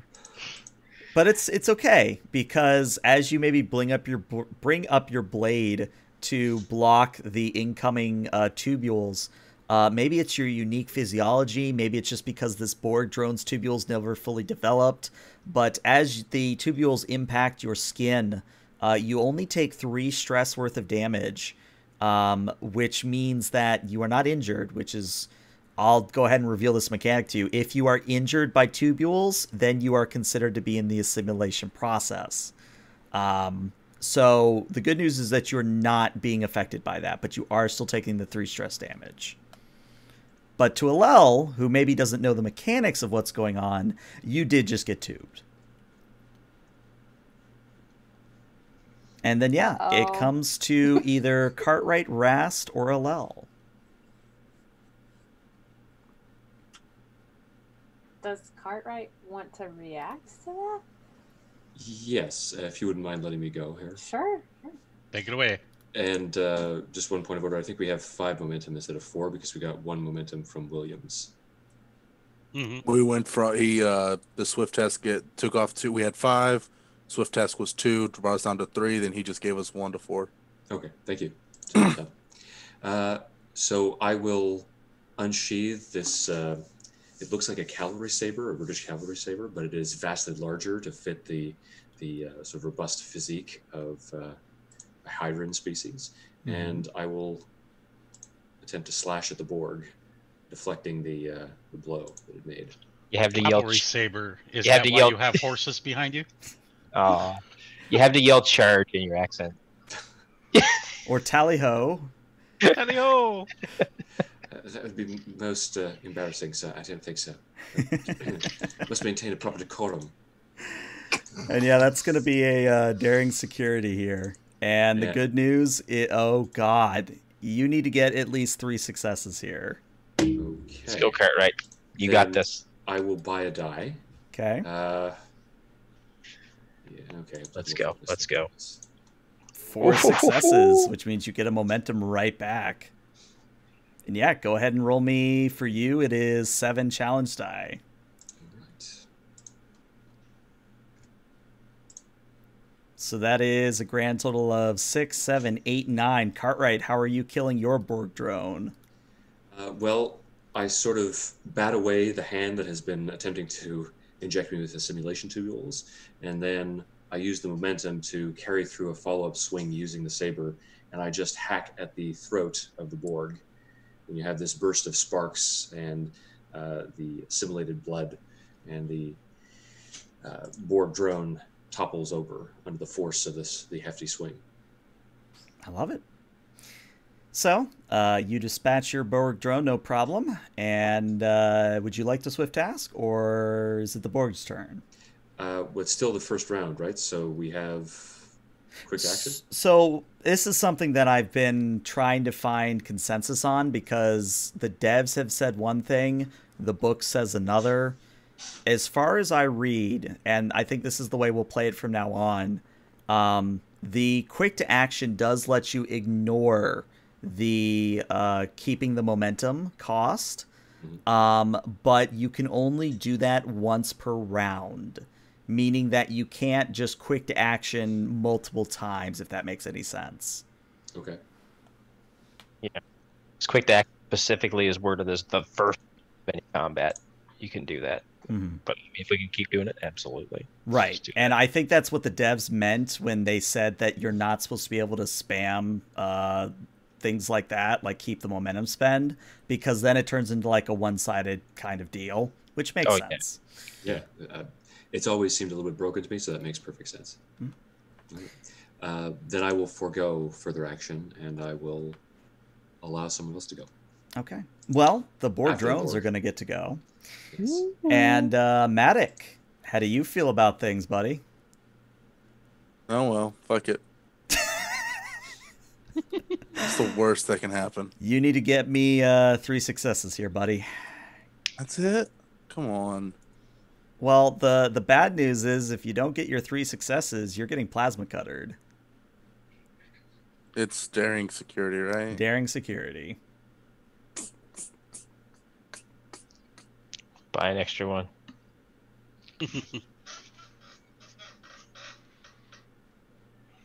Just take the Yeah, I'll do plasma that. cutter like a man. I've already been Dead hit man. once. I don't. I don't need to be hit again. Dead man. Game over, man. Security, Game over. 20. I don't have enough What the full fuck are we gonna focus. do now? What are we gonna do? To Do you want to spend your determin? You've already spent your Already spent determination. So Matic, um, I'm trying to think. technically, technically, I do have the saved spotlight from uh, Zombie Planet. Whenever we were in combat, this is true. I could use that to reroll. Otherwise, you are facing an injury here, which you would have to spend two momentum to remain in combat. Why haven't we beamed out yet, guys? Come on. Do we have the thing? You don't have the transwarp coil yet. Yep, it's right here. All we have to do is beam out with it. Beam, beam. Not without my bat'leth. Am I am I right, Mike? Like like all we have to do is just say, "Hey, we're beaming the fuck out," and it locks on, and we go. Let's just say there's a reason I've kept for threat. Jensen Well, had to run Might to Alel's the well. an bathroom. Obulan, so she doesn't care. All right, She's Might as I'll- well I get it over uh, with. Assimilation. I will spend the uh the spotlight milestone from uh, previous combat. Okay. Uh, the lessons I learned from it. Um, s- survive. Um, don't be taken over by mi- and become a mindless drone. Fair. Whether that's through nanotechnology or through uh, whatever the fuck is the what it was a pheromone that the zombie planet was using. Something to that effect, yes. The pheromone, yeah. I'm just rerolling the one zero. Mm-hmm. If you roll a complication Oh, here, thank God. you did not. So you've rolled three successes, which means you may roll your blade damage, which is a grand total of seven challenge dice. Uh, I can click the right thing. And that is enough. Please describe how your Borg drone goes down. Um, Matic is trying to pull. Uh, she's typing on the. Uh... Oh, what the hell is it called? Tricorder pad. Yeah, that. Matic is uh tap on the tricorder trying to help Vassar uh come back, I guess is the best way to put it. Um they both realize that their job's done and they need to pull out of the uh program to make sure that um the SARS uh program and isn't corrupted and that he isn't assimilated. Um as the drone gets closer, uh Matic and it goes to uh use the plasma cutter on uh Matic. He uh steps back slightly and then uses the Borg's momentum to kind of push it into the uh towards the steam vent that's blowing. Um as soon as the steam hits it and the Borg uh kind of starts slowing down, Matic pulls the uh Certo Draco sword he has and uh just straight pierces where the Borg heart should be. And uh, it whirs and chitters and literally slides off your blade onto the floor. Very nice. Which means it is now either Rast or Alel's turn. Ra- Um, Rast will go. Yeah. So Rast is going to uh, maybe foolishly uh, engage this drone here. Okay. And to keep with the suspense, I'm going to wait to roll the Borg drone. So it is a daring security. The difficulty is one, but remember, uh, the more successes you have, the more I have to beat to hurt you. Mm-hmm. Uh, I'll use our three current momentum. Okay.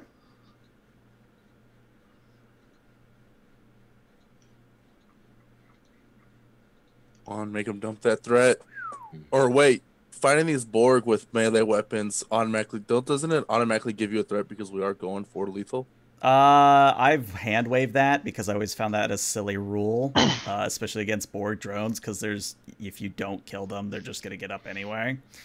Um, so don't worry about it. Uh, but that is a grand total of five successes. Uh, the Borg drone has rolled two, so you may continue to chop up Rast. Go ahead and roll me seven challenge die. Okay. And how much momentum do we end up getting? Uh, you end up getting three momentum. Okay. Wow, so what I spent. Mm-hmm. How nice. All right, so you run over, and uh, how are you uh, tearing this one a new one? So he slashes out, ripping through its through its chest with the uh, with the dagger, Mm-hmm. and um, then there's the ability to attack again. Did you say? It's not needed, but yes. Because what what he's what I was planning on doing was after I slash that one, spin around and throw the uh, dagger at the uh, one in the west call. Ooh, I love it. Uh, that would be a control security. The difficulty would be a three. Okay. Control security difficulty three, and since I earned those uh, three momentum, I'll Just take spend them. I'll spend them right back. Alrighty. Get us some more momentum now while you're at it. I'll try. All complications right. No, that is uh, five successes, so you get two momentum right back. Boom. And uh, yeah, go ahead and roll me another seven challenge die.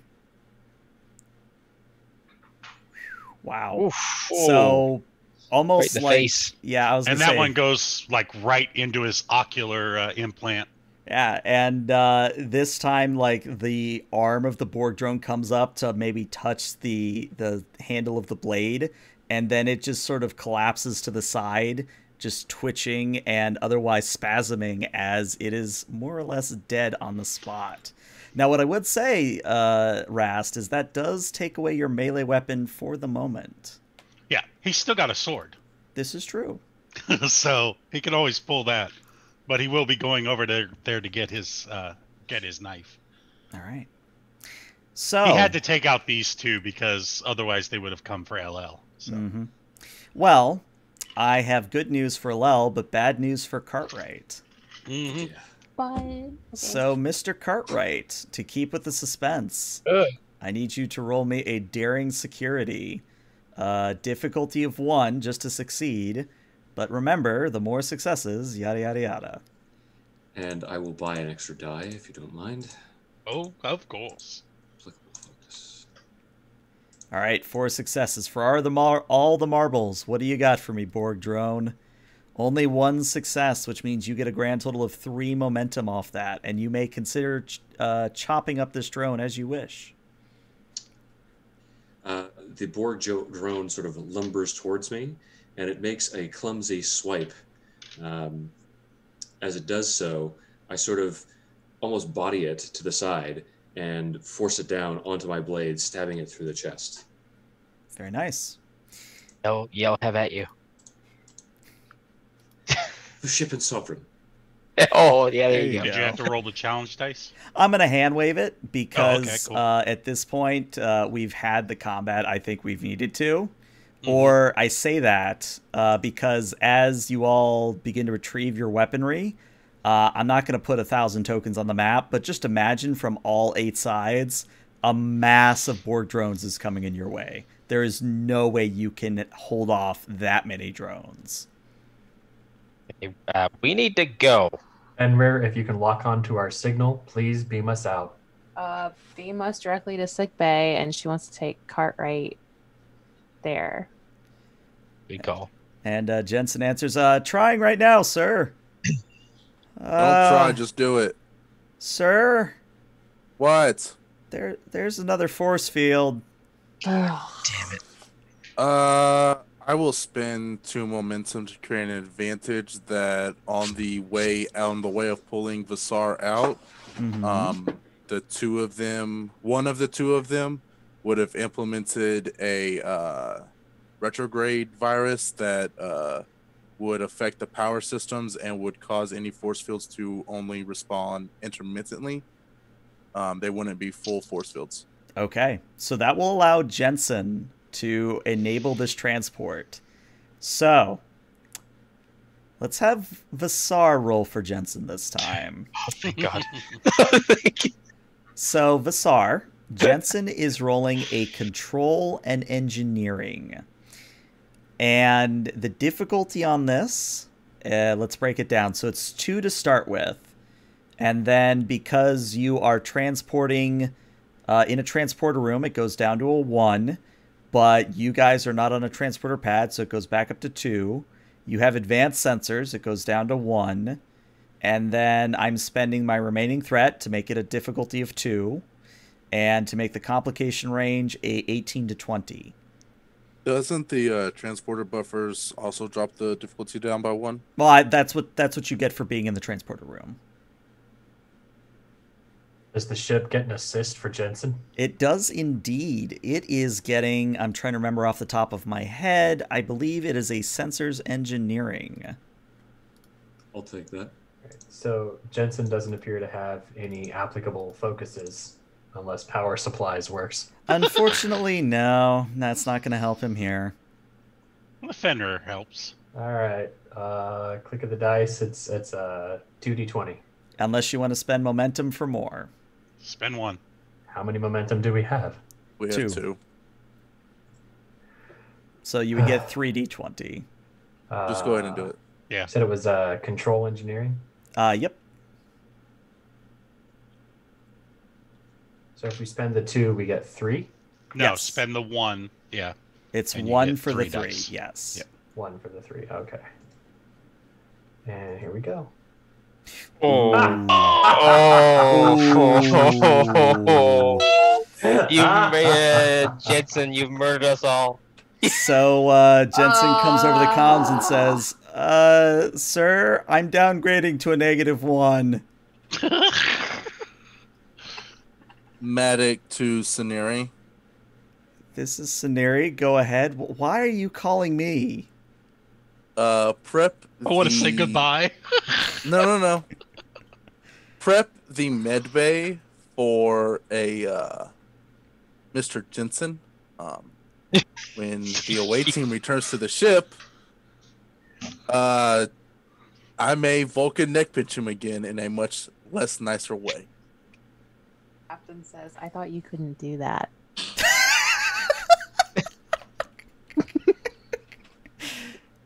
Plausible This may not be the time deniability. for This conversation.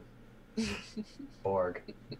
Yeah, the Borg are advancing. I would say you maybe have about two more actions before the Borg are upon you.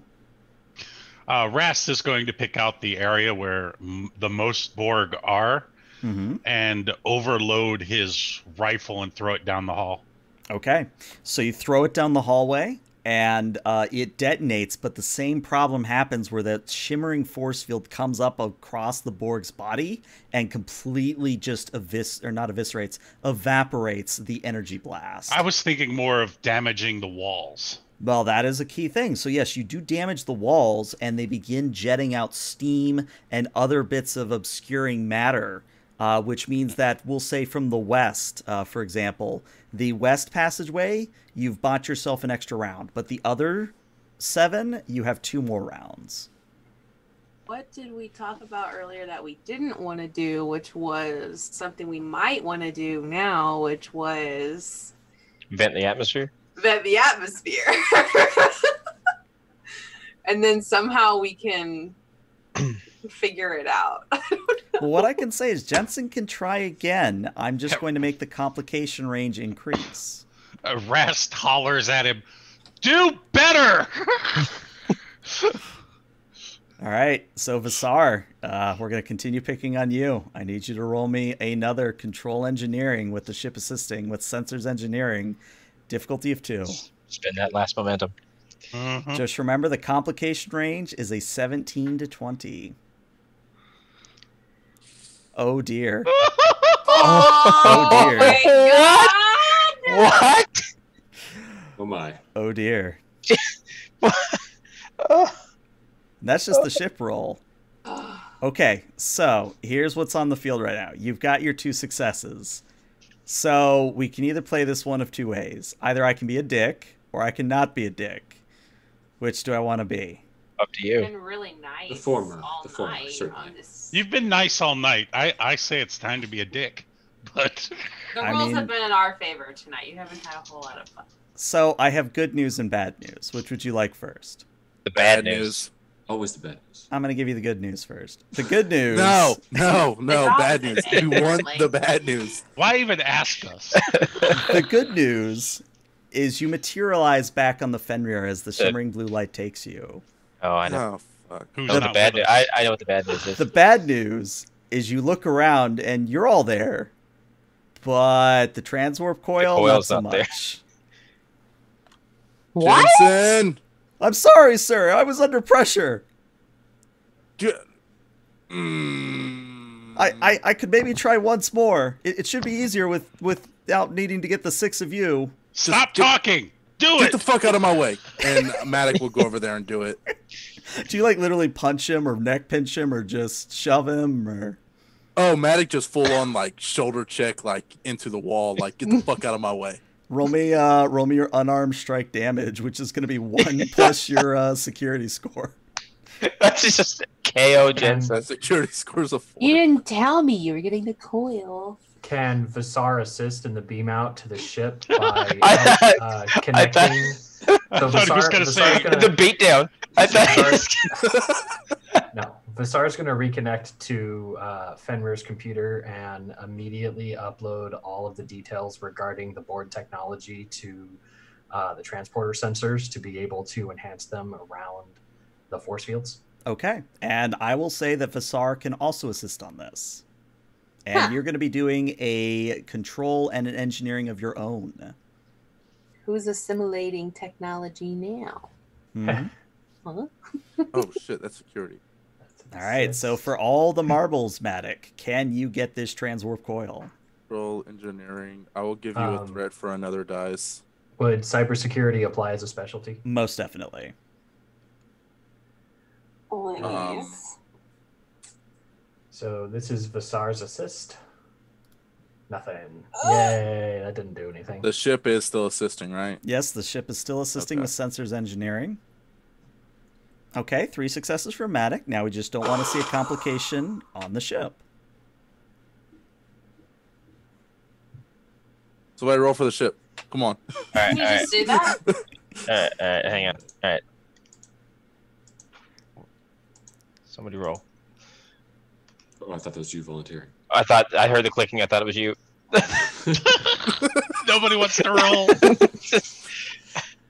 Somebody's got it, otherwise I'm going to. Are you are you rolling? Oh, no, I thought again. I thought you were.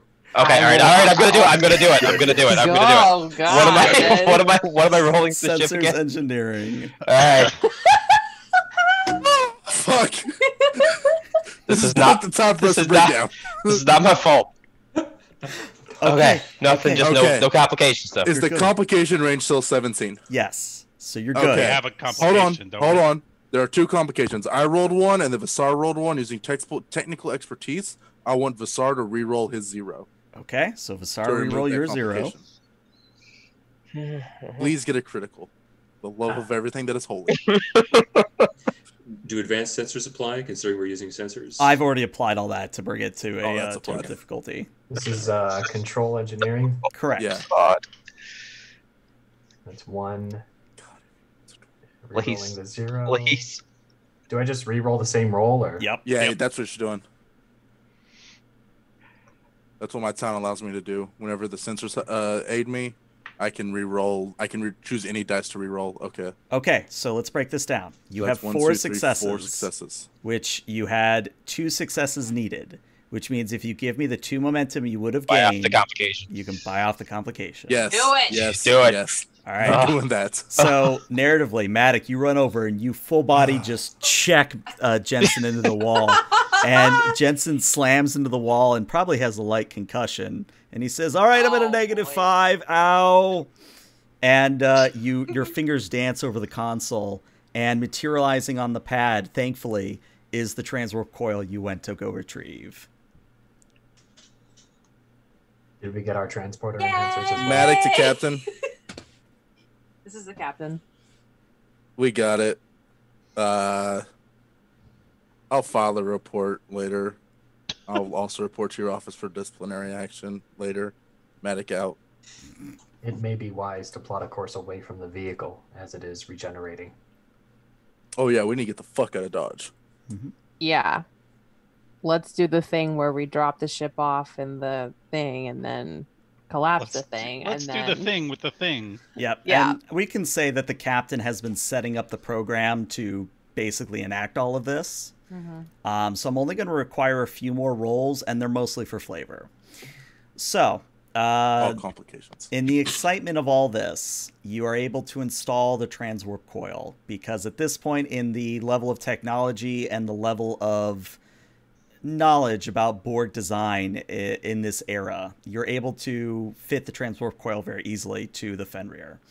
And when you eventually arrive at the Unicomplex, uh, what you find is that uh, there's a battle taking place between the Nalor and two Borg spheres. And as you arrive, uh, Captain, you are getting a hail from the Nalor. Screen. Appearing on screen is a frazzled looking Captain Sin. And she says, Oh, thank the heavens, you're finally here. Please tell me you have us a way out of here. I sure do. Well, uh, we're kind of trapped, as you can see. And uh, something I forgot to say there was the Borg Sphere Beta has the Nalor in one of those Borg tractor beams. Oh, well, we still have our Got two- fancy, Two fancy. transphasic torpedoes. Be ashamed to to leave here and waste them. Yeah. Yeah, Yeah, I say fire at that. We're at the point. Just fire. Okay. Just fire. Just fire it. So is that a direct order from the captain? yes, fire at where the tractor beam is All right. Holding them. So, Captain, you get to roll a presence command. Okay. Uh, Williams, you're going to be rolling me a control security. Uh, this is a difficulty of three, and the ship will assist you with a uh, weapon security. But because you are aiming at a tr- at a specific target, the difficulty increases by one, so it is a difficulty of four. I can roll for Fenrir. I got it. Sorry. Um, so GM, I'm going to give you a point of threat to get an extra die. Okay. Oh, don't be sorry. You got two successes. Um, composure. I, I don't know the whatever didn't really sell me on the on the composure bit, but I didn't say whatever. Um, so yeah, three successes for Williams, uh, Five- one extra five. for. okay. I don't even augmented need no focus. Look at that. All right, so we're at six, seven total. So that's a grand total of four momentum or three momentum. So yeah, go ahead and roll me uh, some challenge die here. That's going to be a grand total of nine challenge die. Uh, yeah, that was nine successes total. All right. Well, I'm going to say with that many hits, uh, if you give me the momentum you just got, you may blow up the sphere. Blow it up! Blow it up! Blow it up! Take it. Take it all. All right. So, Williams, your hands, similarly to Maddox, just masterfully execute a sonata on your console, and the transphasic torpedoes you have soar out from the Fenrir and impact the sphere right where the tractor beam is, and the tractor beam dissipates, and the, the USS Nalor uh, swings free and begins making a beeline for the transwarp conduit. Meanwhile, the Borg sphere just completely begins to cascade explosions across its hull and utterly detonates, sending shards of Borg stuff everywhere. And so at this point, uh, what I need is whoever wants to do the helm check for you all to get in the conduit and then detonate the ship you brought with you. The uh, the uh, what is that? The Zanad ship you brought with you. Uh, yeah, it was the. I, I believe you said the, the Stacka, or Yes. something like that. Um, so what you need to do, whoever's going to be rolling the helm check, it's a daring con. It's a difficulty of three. The ship will assist you with an engines con. But because you fired torpedoes and gave me a threat, I have two threat, which means I'm going to spend that two threat to make it a difficulty of four. Williams, you got us here. You can get us out. I was Ah, thinking Rast might be a good one for this one. I was. Or we can use our actual con officer. I That too, mean, you could use know. her. She's an NPC. She doesn't have. Come That's on, a Williams. Plot armor. Oh. All right. I rolled for the ship. I got us one success. All right. You said this is a daring con? Daring con.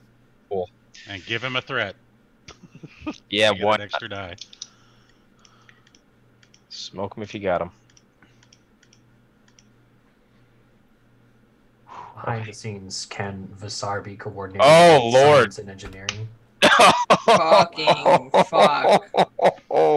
Determination reroll there. Uh, I don't have any determination. I used it already. All right, hold on, hold on. You still Can have. I give you determination? Yes, you're a captain. You can do that. I'm giving you that. All right. To do it again. oh, this is fantastic. The determination comes as a form in a form of you can feel her eyes boring into the back of your skull All right. Okay. as you're doing this.